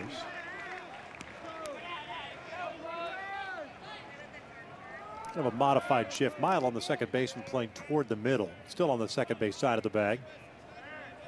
Big hole on the right side. 3 0.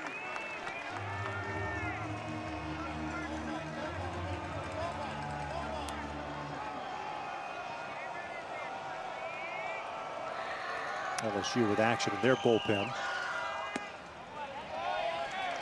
There's ball four. The two on with one out. Yeah, that's exactly how Mississippi State's going to get back in this ball game. They need base runners.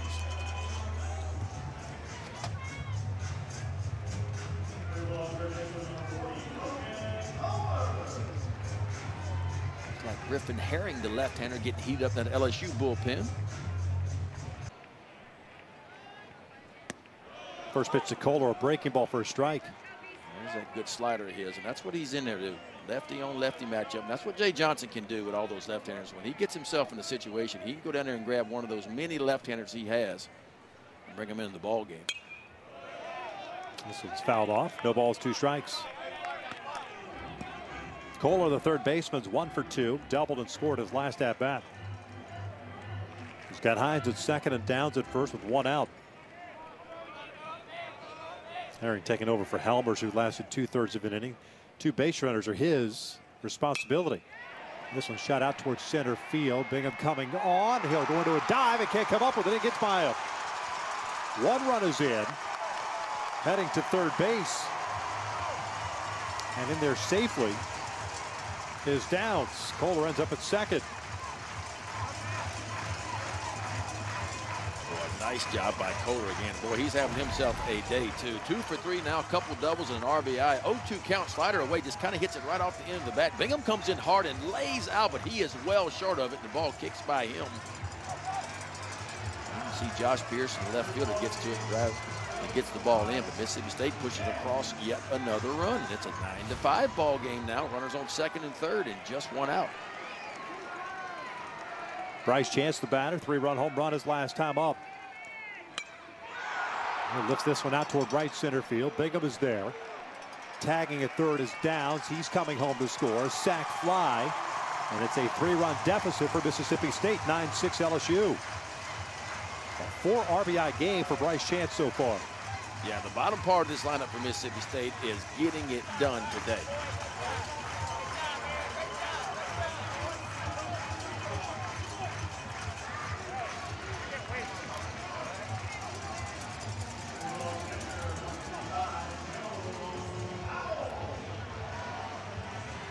There's the number nine hitter, Joe Powell.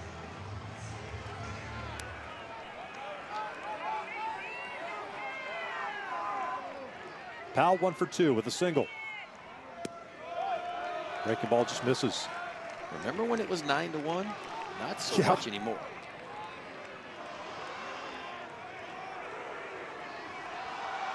Ain't no quitting this team. Never has been.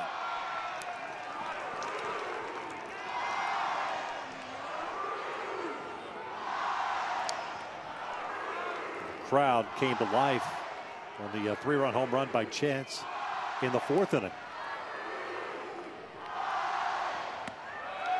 Outside, breaking ball. It's 3 0. Amani Larry, leadoff man, second baseman's on deck.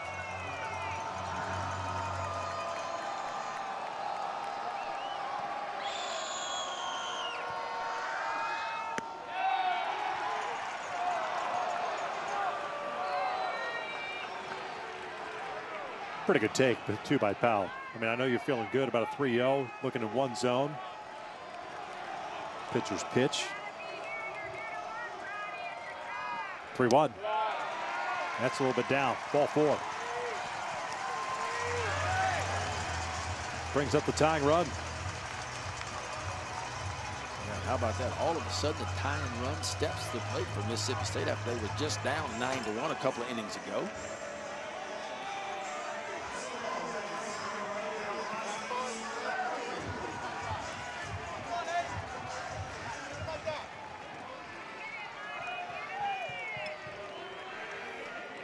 Larry with a ground down, a walk, and a hit by pitch his last time up. First and third with two outs. Lays off that breaking ball. Well, Amani Larry's just one of those guys you pull for. You know, nobody really gave him a chance out of high school in Louisiana. He had to go play junior college ball, and he excelled at the junior college level, and finally got an opportunity to play big-time college baseball, and he has not disappointed. Yep. Great story. Junior college to New Orleans to Mississippi State.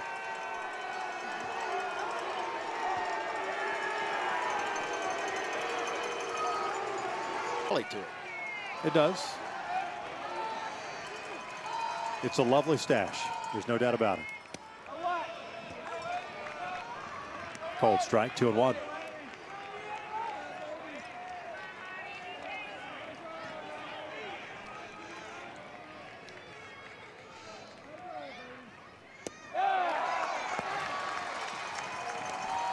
more than likely. Herring's last batter. Switch hitter David Mershon on deck. Kohler at third, Powell at second. Here comes the 3 1. Chopper foul. Full count.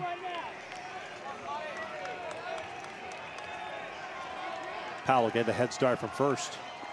LSU with five walks in a day. And that's the thing, LSU leads the nation in strikeouts, but the walks can be an issue from time to time as well. They have been so far today. A couple of hit by pitches, five walks. This one's pulled down the line. Foul. So Powell will head back to first base and reset.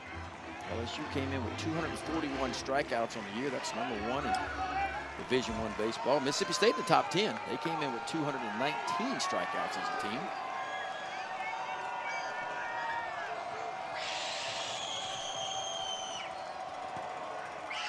Another payoff on the way. And there's ball four, and they're loaded up.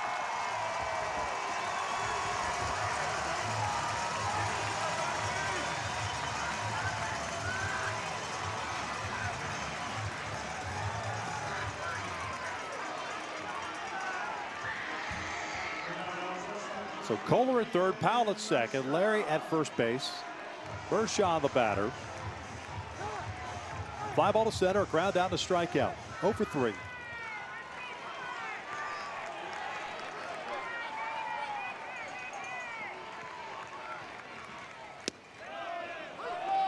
Bends that one in on the outside part of the play for strike.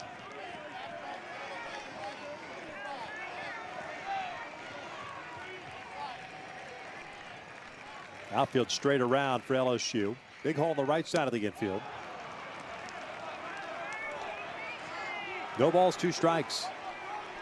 Griffin Herring, really good breaking ball for strike one. Looked like a little two-seam fastball kind of down and away for strike two.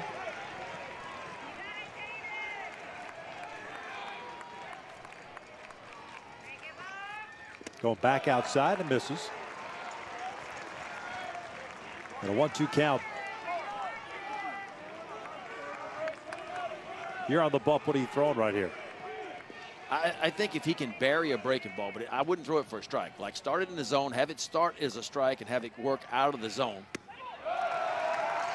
Back to the two-seamer. Mm -hmm. Now you're in a situation where you don't want to go 3-2 with the bases loaded. So you almost have to throw a strike here.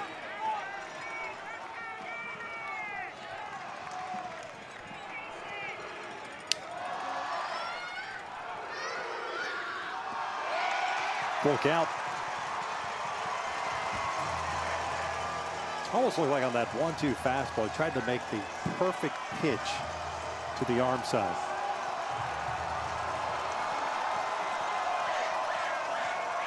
Get the merry-go-round going here. 3-2, two outs, bases loaded. Runners off at the pitch, a 3-2, and that's lifted in the air, shallow right. Playable for Brady Neal. Third out is recorded. 9 to 6 LSU, top of the sixth inning. Jones, Travinski, and Pearson. Ligon still on the bump for Mississippi State. He's kind of calmed things down. LSU with three in the first, two in the second, four in the third. But Ligon, since he's come in, has really, really stymied the LSU offense. Two balls, no strikes on Jared Jones. Yeah, it was Nolan One Stevens in relief yesterday. Remember him in relief? Boy, what, a, what an outing he had. He just shut down his LSU offense. Well, all of a sudden, Karson Ligon kind of doing the same thing.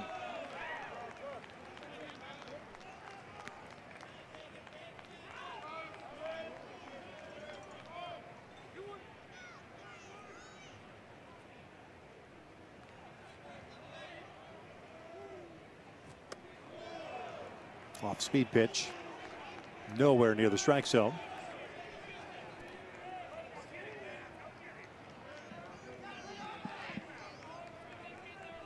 Three balls, one strike.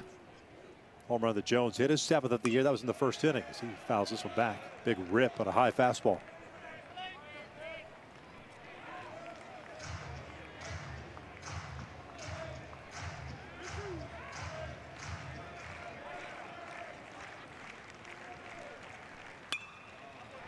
Pulled to the left side and a base hit. Even with the shift on, Jones hits right through it. Leadoff man on board for LSU.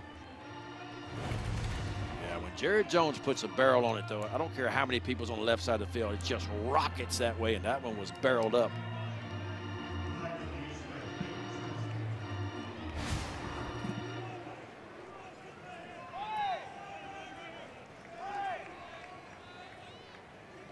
Hayden Travinski, a one for two game so far with a home run and a walk.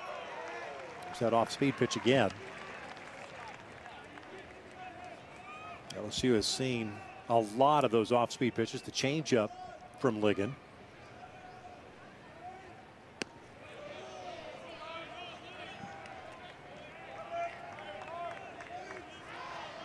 Ligon issued a leadoff walk to start the fifth inning to turn the lineup around at the top, but then Big strikeouts of Bingham and White. Then got Neal to Skywell to left field.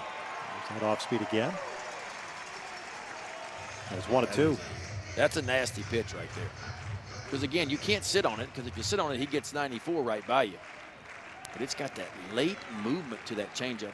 And the key is throwing it just like your fastball. The arm speed is really good. It looks exactly like the fastball out of the hands.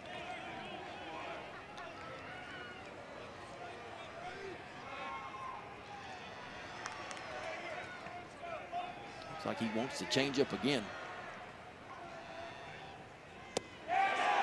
Check swing. Did not go. Mississippi State apparently not using the watch like a lot of teams using because you can see the catcher, Joe Powell, he's putting down fingers behind home plate.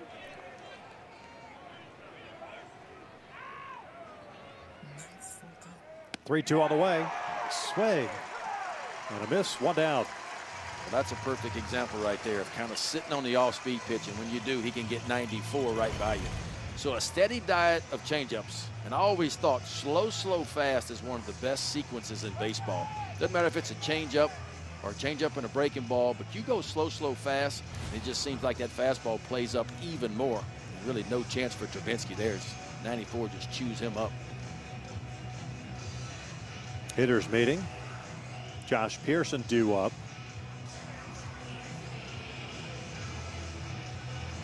I would imagine that Coach Johnson has given the speech that you just basically uh, regurgitated yourself about the off speed. It's tough to sit on that off speed pitch.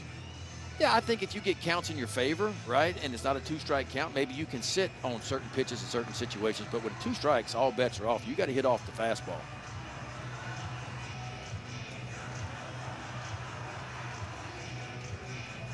Two and a third so far for Ligon.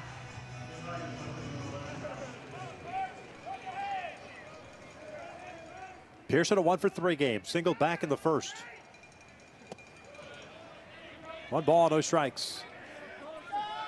Both teams have thrown a lot of pitches in this game. Mm -hmm. See, this is a situation here. 1-0, I don't mind sitting on the changeup here. I mean, if you get the changeup, have a good swing at it. If he throws you a fastball, it's 1-1.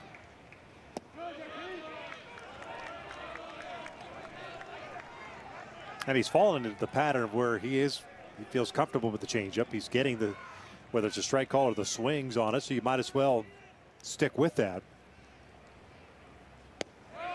There's a fastball for a strike. Maybe caught the bottom part of the strike zone. Two balls and a strike. Well, it's been just what the scout report said. I mean, best pitch starred asterisk was the changeup, and it has been by far. Back to the fastball. Two and two. Pearson bats with the shift on him with three infielders on the right side.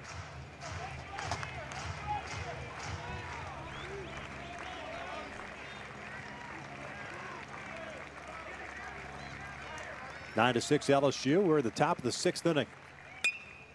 Off speed, and that is ripped to first base. That's going to turn into a double play.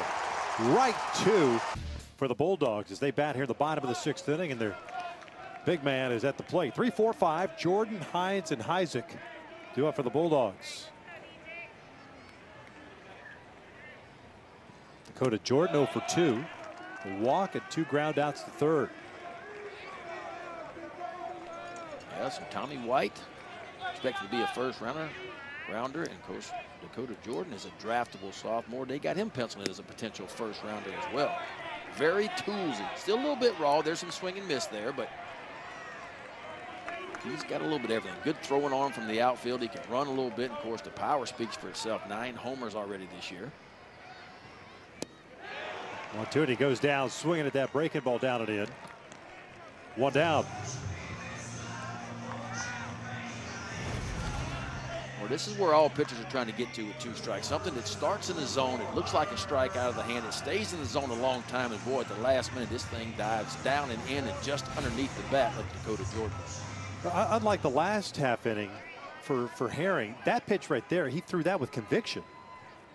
Well, it's amazing when you get ahead, right? When, when you're always right. pitching from behind, it seems like you can't throw balls with conviction. You know, you're worried about giving the ball, barreling the ball up, and ball going over the fence in today's game. But when you work ahead, and that's why pitchers, pitching is not defense. Pitching is offense. Pitching is about attacking the hitters at the plate and putting them on defense right away. That's what pitching is. This one over to first base. Jones has it, two down. It's amazing when you work ahead and you put hitters on defense right away, you're going to have success pretty much at every level you play. But when you're constantly in 2 0, 3 1, 3 2 counts, hitters counts, you're making it very difficult on yourself. And I think it's just about young pitchers trusting their stuff and trusting their stuff over the white part of the plate and challenging. Connor Hujsak at the plate, the center fielder, takes down and away. Because, I mean, you look at Griffin Herring, he's got good stuff. I mean, it's from the left side, fastball's up to 95. We see how good the breaking ball is as well. Hujsak skies this one. Third base side. It's out of play. One ball, one strike.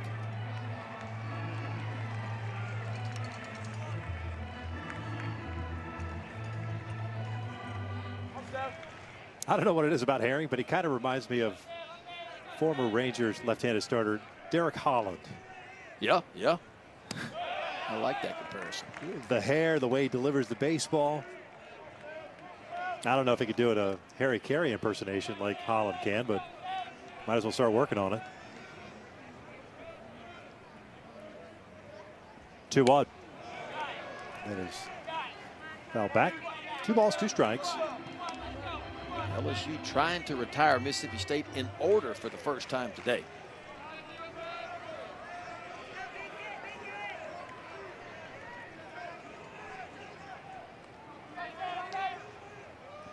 Two-two.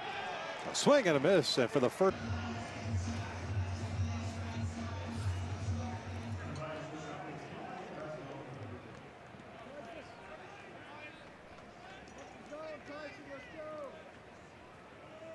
First one on the way is in there for a strike. All of a sudden, that bottom part of the strike zone is starting to show up. Yeah, felt like it wasn't there. Wasn't there early in the ball game, but it seems to no. be there now. This one's out toward center field and the base hit to lead off the seventh inning. Braswell with his first knock. One for three.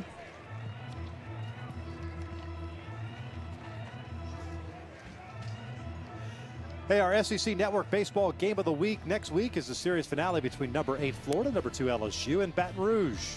Coverage begins Sunday afternoon at 3 Eastern, 2 Central.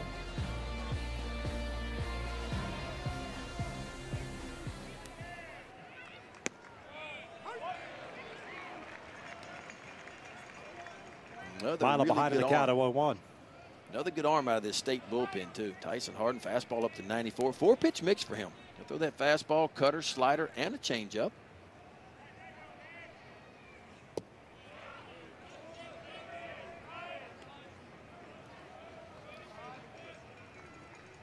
Milam's had a one for two games, lined out, walked, and singled. Also scored a run.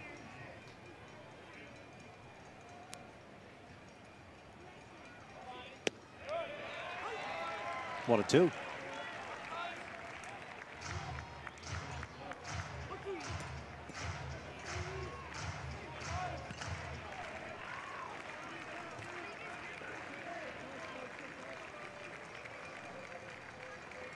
Defense for Mississippi State pretty much straight up, and Milam goes down swinging. Challenge him at 95, one away. Yeah, that's just good old-fashioned Just good old-fashioned country hardball right there. My best against yours. One ball, two strike counted. I tell you what, Hardin just rares back, throws a four-seamer right by Steven Milam at 95 miles an hour.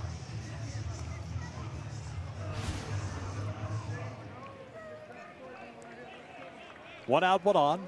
Number nine hitter, Alex Milazzo up. Been on board all three times with a single and two walks. Talk about production down at the bottom, huh? One for one, couple of walks. Two down, Hines. Bingham.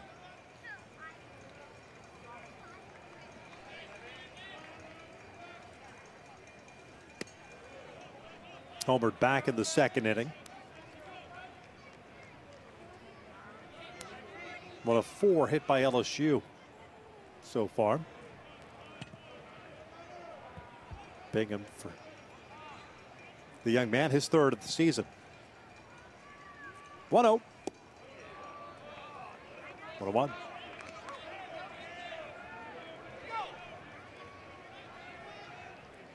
this is when you sit on a fastball and you get your foot down and you go. You gear up for 95.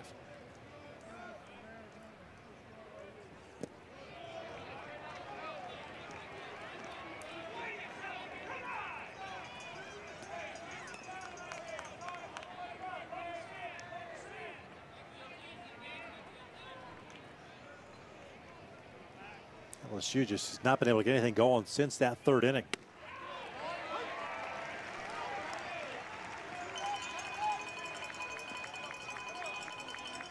Well, I tell you what, if you're Tyson Hardin, yeah, this is the guy you want. With Tommy White sitting on deck, this is the guy you want to get with two strikes, with two outs rather. And a walk. Two out variety puts two on for Tommy.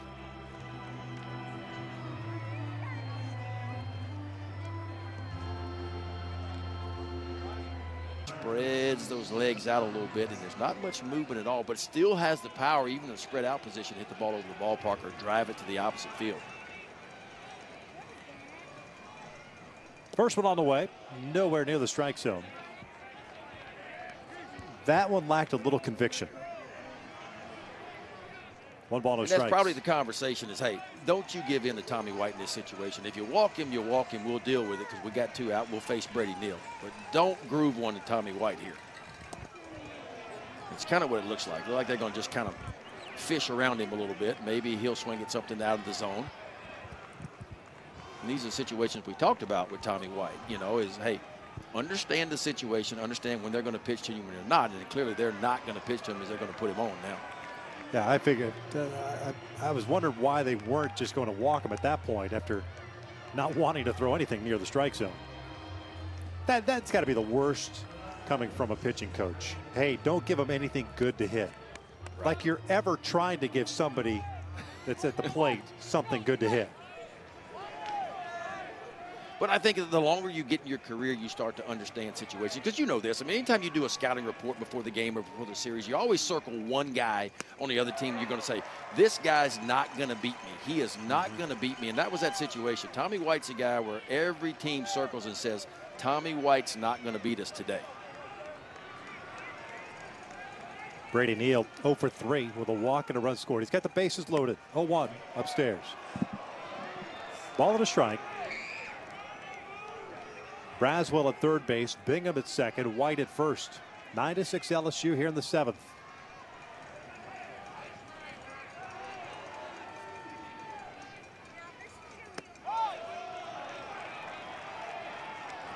Two balls, one strike. Brady Neal's got himself in a pretty good place. He's always been a pretty good fastball hitter. No reason to be late on a fastball here.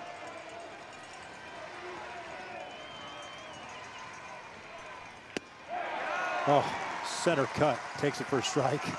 Yeah, I, you know, I don't know. I don't know what Neal was thinking there. I mean, that's that's kind of overthinking it right there. Two, two, two outs.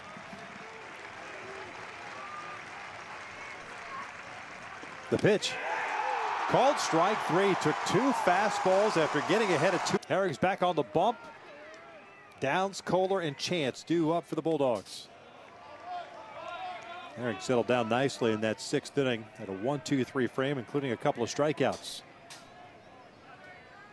Aaron Downs one for two with a single and a walk. Also scored a run. This one's fouled off. No balls, two strikes.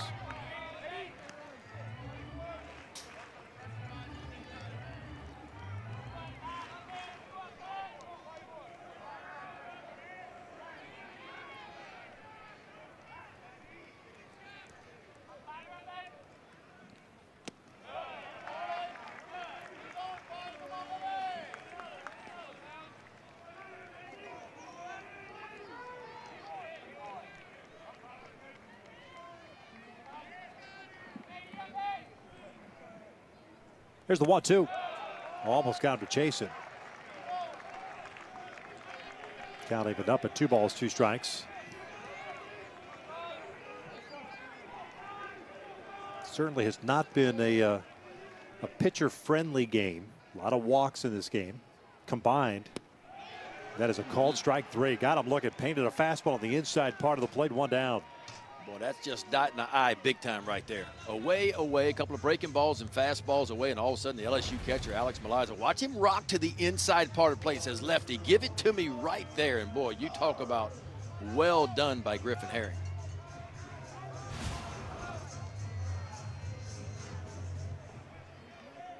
That's what I always like to watch. I like to watch the catcher where he sets up and see how close the pitcher comes to hitting the glove. Breaking ball on the ground at second base. What a play by Milam to the backhand. Robs Kohler two down. Oh, flash some leather, youngster, huh? Steven Milam, the true freshman out of New Mexico. He was a Gatorade High School Player of the Year last year in New Mexico. And how about this play? He's playing deep where he should be, and just a one hopper almost eats him up, but slides right to the backhand side, collects himself, and a dart over to first base. Two outs, nobody on for Bryce Chance, the DH.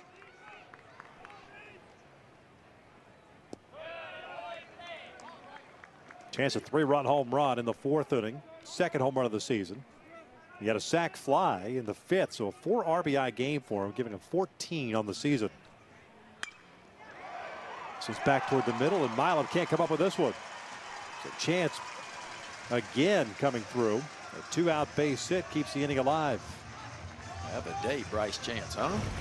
Chance came in hitting 232 with one homer, and I tell you what, he has barreled some balls today, right back from whence it came. Milam was shaded in the right direction, but the ball hit too hard.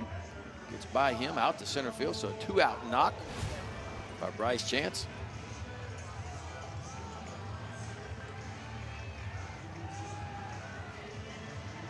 Brings up the catcher, Joe Powell. One for two with a single and a walk. Johnson's going to come out. Yeah, Jay Johnson told us the other day, he's kind of been one of the back end guys, one of the better relievers for LSU out of that bullpen.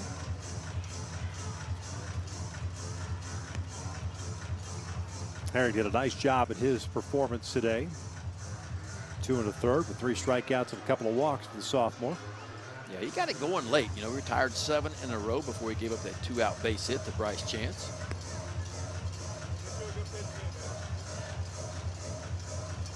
Ulloa, two seasons at San Joaquin Delta College in Stockton, California. Good right-hander. Coming in to kind of just uh, tamp down things just in case. A three-run lead. Jay Johnson not, not messing around here. Yeah, if you're Jay Johnson LSU, you got to have this one. You got to have the middle game after Mississippi State beat you 10 to 4 in last night's game.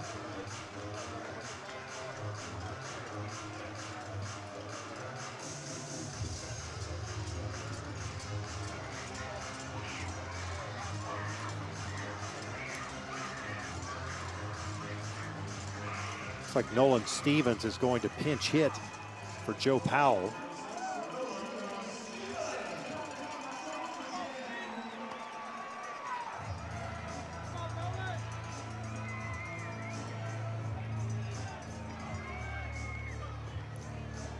Three sixty-four on the season, eleven at bats, has a home run, one RBI.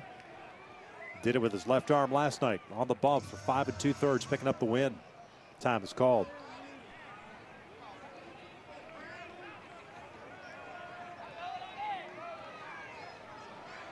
Yeah, for me, he was the MVP. I know that state offense was really good last night, but boy, when Stevens came in the game, LSU was, was putting up some runs on the scoreboard. He just drew a line in the sand big time and shut him down.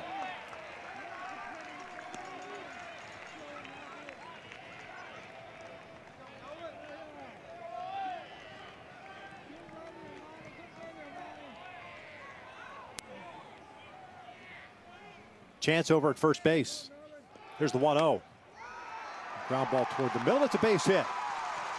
Chance on the move will head to third base easily. Mississippi State had runners at the corners with two outs here in the seventh. Coach Lemonis pushing all the right buttons, goes to his bench, brings in Stevens, who's last night's hero. He keeps it moving. First and third now with two out.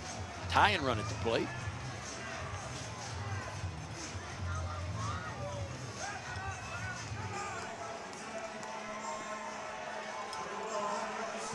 Amani Larry, the second baseman, coming to the plate now. Been on board three times via the walk. Hit by pitch. 0 for 1.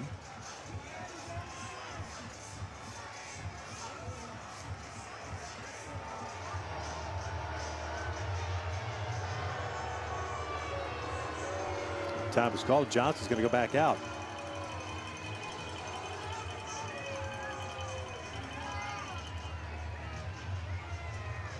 Coach Lemonis is out as well. He's bringing kind of the midweek starter for LSU. Four appearances, all four have been starts. His first relief appearance of the year. Really good fastball, commands it well. You see from the left side, true freshman up to 94 right there, and a banger breaking ball to go right behind it as well. He's had an outstanding freshman campaign so far, 16 and two thirds, 27 punchouts for the freshman. Upstairs, and it's in and out of the glove of Milazzo. Runners cannot advance. One ball, one strike. Cade Anderson actually started one of the midweek games for LSU this past week, but they took him out early. He only threw 30-something pitches just in case they needed him on the weekend, and apparently they need him in a big way.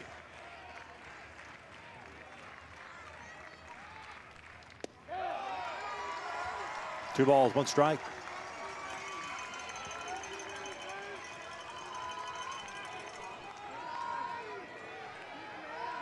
Chance the base runner at third base. Stevens, the pinch hitter, is the uh, base runner at first. In tight, three and one.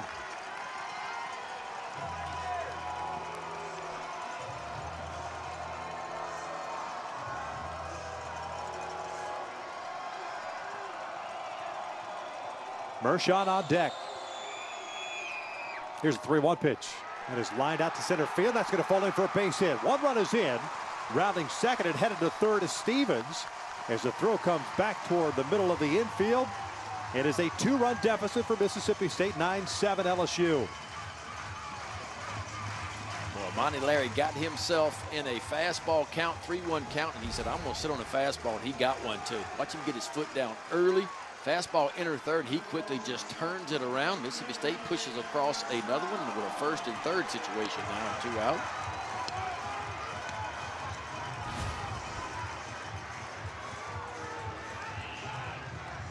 Larry picks up his 12th RBI.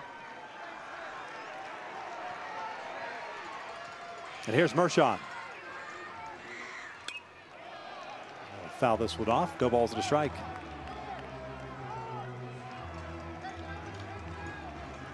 Last at bat for Mershon. He was up with the bases loaded, hitting a fly ball to right field. He's over 4 so far in the afternoon.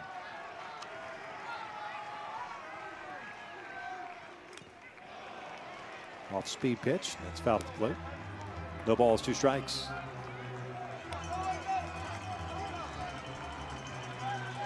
That was a changeup by Anderson. So it's a three pitch mix for him. Good fastball, changeup, and a solid breaking ball that we have not seen as of yet.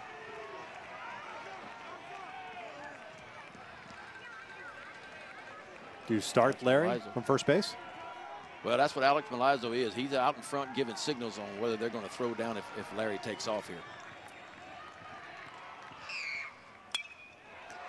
Listen, Gronk down the first, first base line and into the corner. One run is in. Larry will go to third. He's going to try to score. The throw to the plate is in time. Hot smash down the line that Jared Jones could not hang on to. As we've got a new catcher behind the plates, Johnny Long.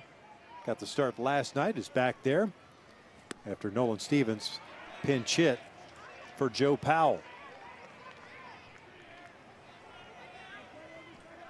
Jones, Travinski, and Pearson for LSU here in their half of the eighth inning. We'll chopper to the left side. Mershon has it. One down.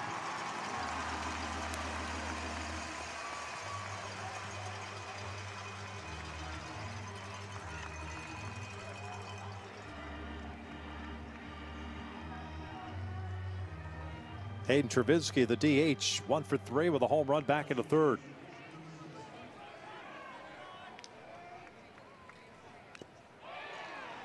Fouled back into long. No balls at a strike. Second inning of relief for right-hander Tyson Hardin. Got a big strikeout of Brady Neal with the bases loaded and two outs in the seventh.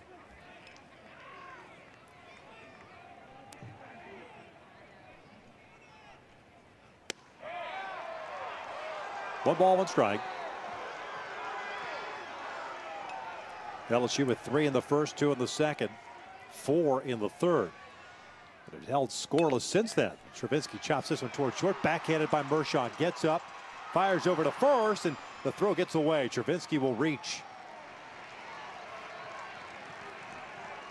Throw a little bit up the line, and nothing Hines can do at first base.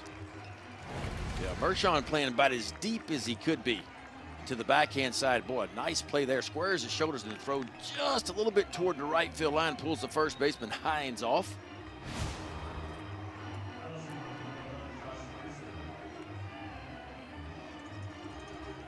Travinski gets credited with a hit. The second of the afternoon, early evening. Man on for Pearson. Maybe LSU scoring for Mississippi State has been the other way around. Is that one misses outside? Bulldogs got a run in the second, scored three in the fourth, two in the fifth, and just hung two more up in the seventh. And that's how we got a one run deficit for Mississippi State.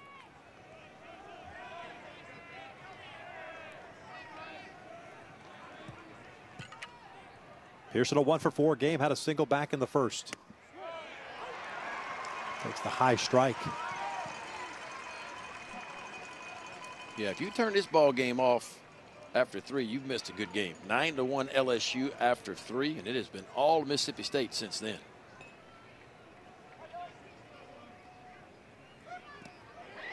That gets away. That will allow Travinski to get to second. And with the shift on, you see Kohler hurrying to get over to third base.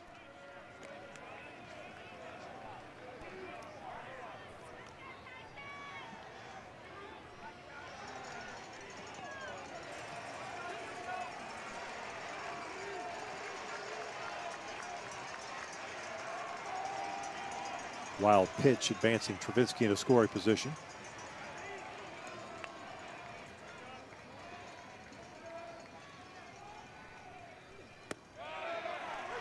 Called strike. Strike zone seems perfect. to be opening up a little bit, right? Yeah, it's definitely a little bit bigger than where it started, no doubt about it. But that's a tough fastball. That's a fastball that starts, you know, kind of off the plate as a ball and just kind of leaks it back as it runs back. That's a swing and a miss. The ball goes up the first base line, and Pearson will reach. That's a strikeout wild pitch. Runners at first and third.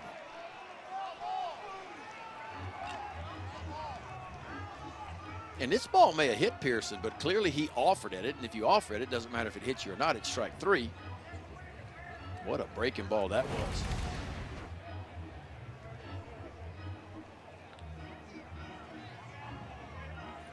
I couldn't tell if it hit Pearson or if it hit the catcher, Johnny Long, but it hit one of them. Boy, Pearson just hustles it out. So a first and third one out situation for LSU.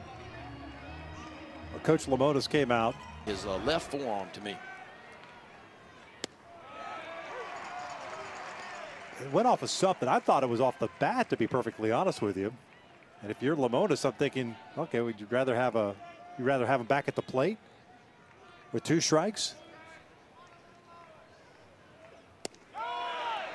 That was a little bit low. One ball, one strike. Michael Braswell.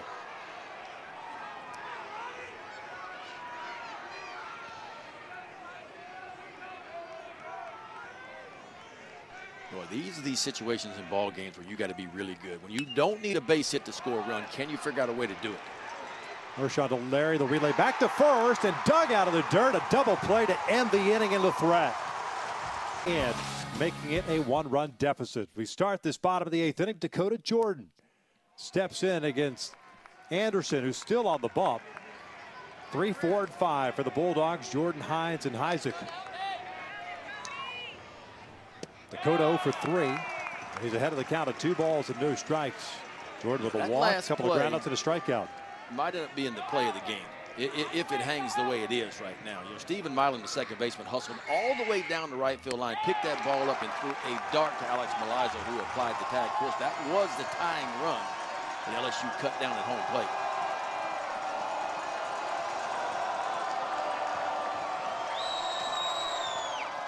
Three 0. And there's ball four. Leadoff man is on board.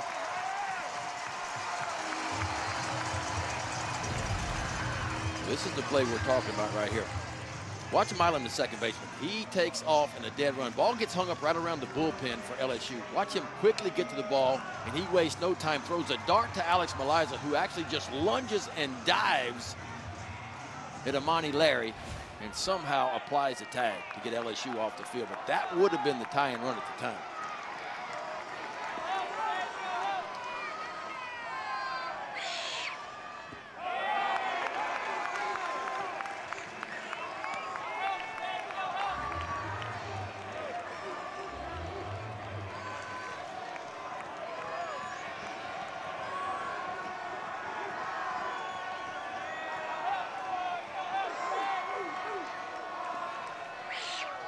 One 0. This one's skied out to shallow right field. Milam's going out. Neal comes in. One away.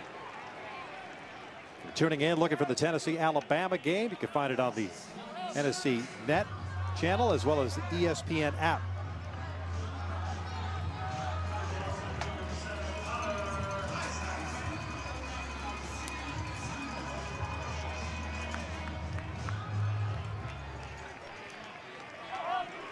I said Brady Neal in right.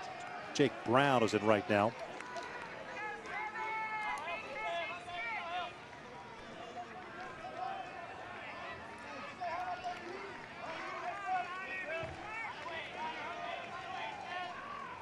Isaac, the center fielder, up with the man on.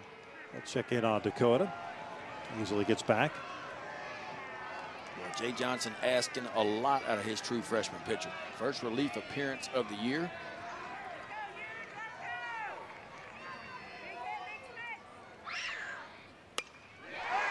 That is pulled into left field, a base hit. Jordan will stop at second. Bulldogs with runners at first and second and one down.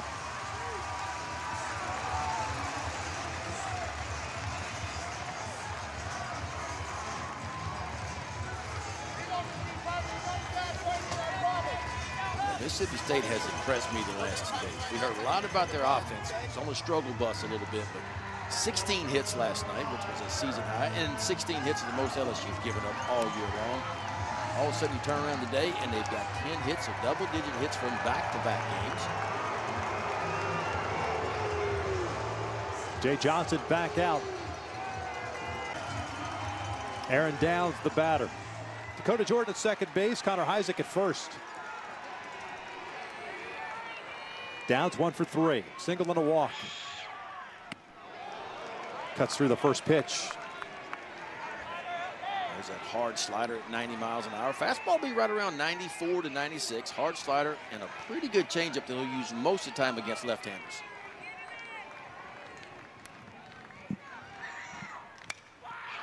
Ground ball left side down the line. Backhanded at third. Get the force out. Throw to first base. Got him. What a play by Tommy it. White. Third Stop of it. this ball game. Tommy White, are you kidding me? All we've heard about they're late to win the national championship. They still fielded 11th best out of 14 teams. Well, they're sitting number six in the SEC right now in fielding percentage. In a game where there's been a ton of offense, it's really been two outstanding defensive plays by LSU that's been the difference in this ball game. 8 9 and 1 for LSU here in the ninth inning. Mila, Milazzo, and Bingham. Tyson Hardin still on the bump for Mississippi State. Milam looks at a strike, two and one. One for three games so far with a single and a walk. He's also scored a run.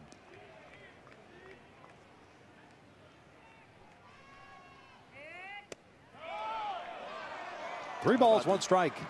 How about these Mississippi State relievers, though, huh? Ligon goes mm -hmm. three in the third, no runs. Tyson Hardin's into his third inning now with no runs. They have certainly shut this LSU offense down. And there's a leadoff walk.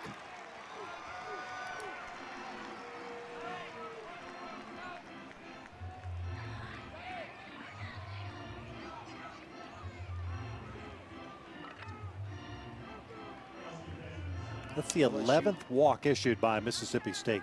Yeah, LSU got the leadoff guy on in the sixth, didn't score. Get the leadoff guy on in the seventh, didn't score. And now leadoff guy in the ninth is on.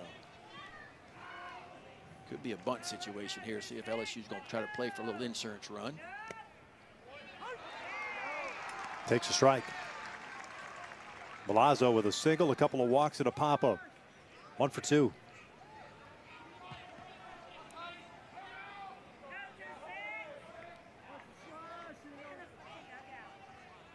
Kohler creeping in at third base. And the hit and run was on, but it's foul back. Milam will head back to first. It's almost like a little softball play, a little show bunt and slap it the other way, put a runner in motion. Mm -hmm.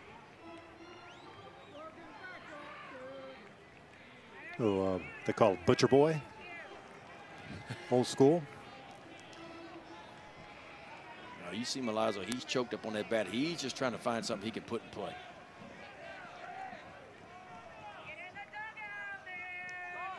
Showing butt. This was up the line. That'll work. Throw goes to first. Sacrifice advances Milam to second. That's big time there. Big time bunt. You down 0-2. You talk about putting pressure on somebody, ask them to bunt in an 0-2 situation.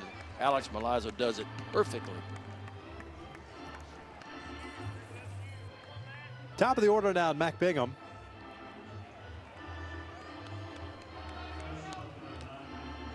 Almost 14,000 in attendance at Starkville tonight. Time is called. Top the order up.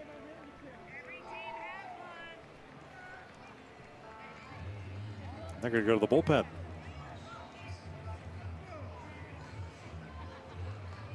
like we said, a lot of pitches thrown by both sides. Tyson uh, Hardin did a heck of a job on the heels of what behind it all in the 60s. So all of a sudden LSU's got to think backside here. Let the ball travel, let it get deep to have a chance. Well, Frisbee slider in for a strike.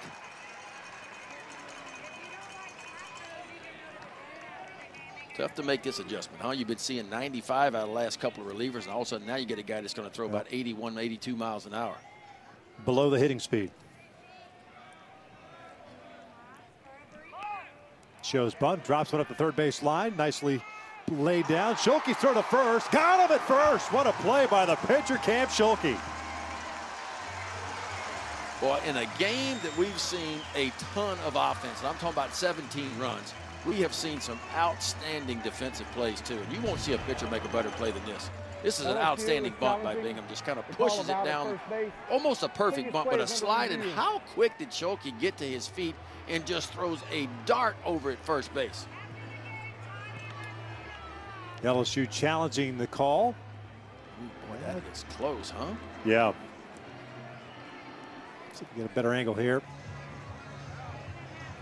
He got him. I think that's, yep, he did get him. I think the ball is in the glove, and I mean just by a toenail. Wow, what a play by Cam Schulke. That is crazy. I mean, the release is so quick as he gathered himself and quickly came off of the grass. I mean, watch this player. You talk about an athlete. Who says pitchers aren't athletes, by the way? How many pitchers can do this? Bare hands it, and I mean a perfect dart over to first base. Pretty much everybody on a roster that's not a pitcher says a pitcher's not an athlete. That's a heck There's of a deal. There's some play. middle infielders. That, I'm gonna tell you, there's some middle infielders can't make that Call play. out base is confirmed. LSU is out of challenge for the game. So two outs. challenges Milam advances to third. remainder of the game will be crew challenges. I can't imagine Tommy White's going to see anything No, to hit here. I, I- I wouldn't think so. Although it's a totally different look, I- I just can't imagine they're going to pitch to Tommy White here. Yeah, there it is right there. I, I, I, why, why would you even let him get in the batter's box? You don't. I mean, you don't. Yeah. And, and we talked about that. That's the one guy that can't beat you. And that's the way it's going to be for LSU until others around him begin to hit. Tommy picks up his second intentional walk. This is going to be Jake Brown here, the true freshman mm-hmm. out of Lake Charles, Louisiana, coming in. Just came in defensively out in right field.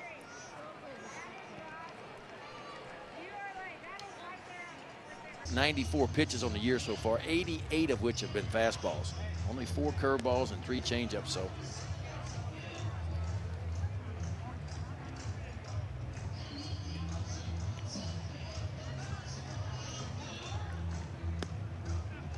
Brown trying to get some timing in. He waits on deck. What a ball Brown- game here in Starkville. Jake Brown began the year in the starting lineup for LSU. Started off out in left field, moved over to right field for a while. Then the bat kind of cooled off. Two-way player. Seems like a lot of guys are these days. Probably won't use him much on the bump, Jay Johnson said this year, just because he's left-handed and LSU, we talked about earlier, a ton of left-handers down in that bullpen. But can really run.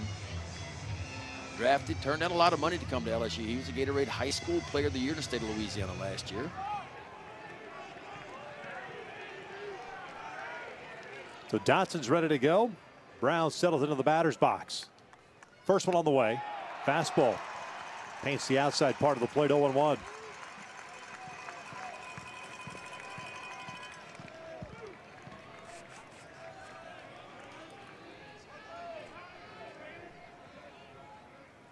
Defense pretty much straight up. That is foul back. 92 in on the hands, 0 2.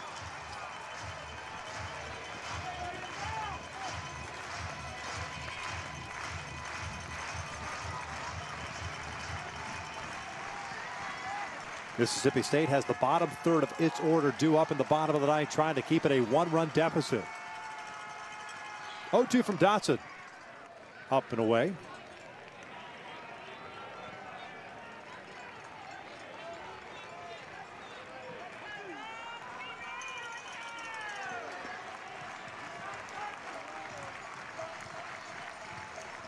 Over 330 combined pitches thrown in this game. The 1-2. That's in the dirt. Tommy was on the move. He'll take second base rather easily. No throw.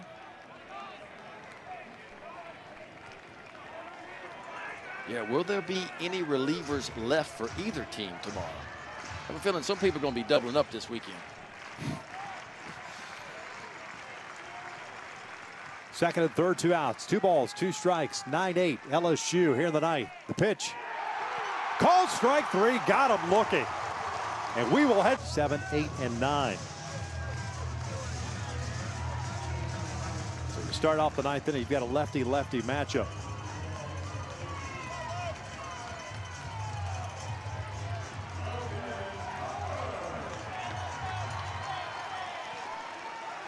Pardon me, the seventh pitcher used by LSU.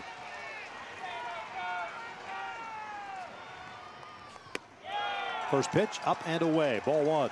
Kohler, multi-hit game, two doubles, an RBI, and a run scored. He's two for four. Transfer from Memphis. 1-0. A bouncer toward first base. Grabbed and Ackenhausen covering. They get the first out. One down. Boy, really nice play on both ends right there. The big fella Jarrett Jones, a nice shovel, just like a quarterback would lead a receiver. Pitches it right over to Ackenhausen, who barely gets the bag first. Fastball slider heavy for Ackenhausen. Fastball is going to average about 92. And he'll throw the slider, the second most used pitch. Occasional changeup by him. This one's popped up to shallow right field. Milam is going out. Crowd is there. Two down.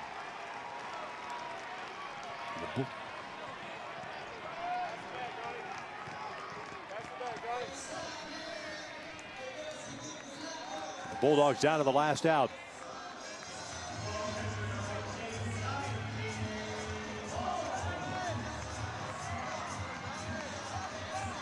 These SEC games are exhausting for everybody. They, I mean, this is what you get, though, in the SEC.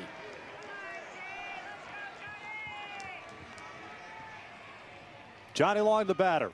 Two outs, nobody on. That's inside. Long came in as a defensive replacement. Got the start last night behind the plate. Went two for five with an RBI.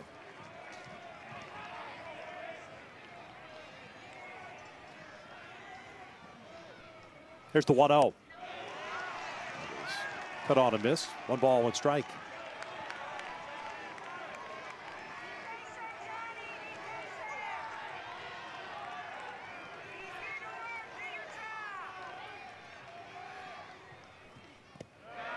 Two and one.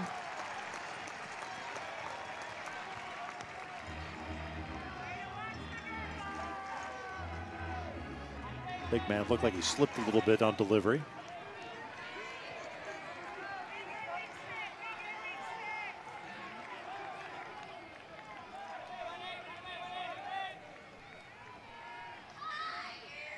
Two one on the way.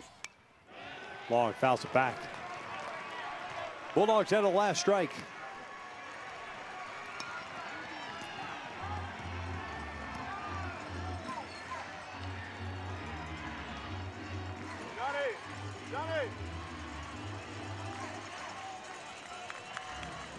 Conversation.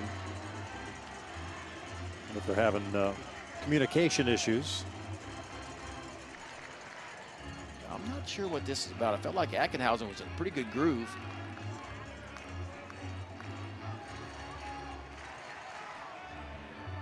I saw Milazzo looking down to his wrist, but then would put down the sign. So clearly, Ackenhausen not using the uh, the receiver. The batteries on the watches may have gone out, so now we got to go back to more traditional signs. Good times, good times. All right, we're about ready to go. Two balls, two strikes, and two outs.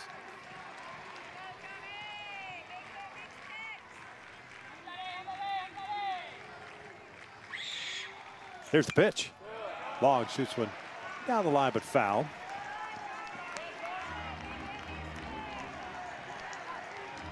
Johnny! Johnny! You can see Johnny Long. He is just trying to put a ball in play. He's down two strikes. Protecting against a good fastball that Nate Ackenhausen has. He'll run up to 93, but he's got a good changeup and breaking ball, too. So you got to respect that in a two strike situation.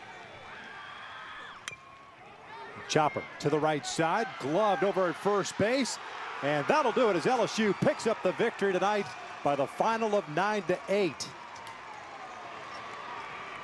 Wow. What a game. And you hit the nail on the head. It's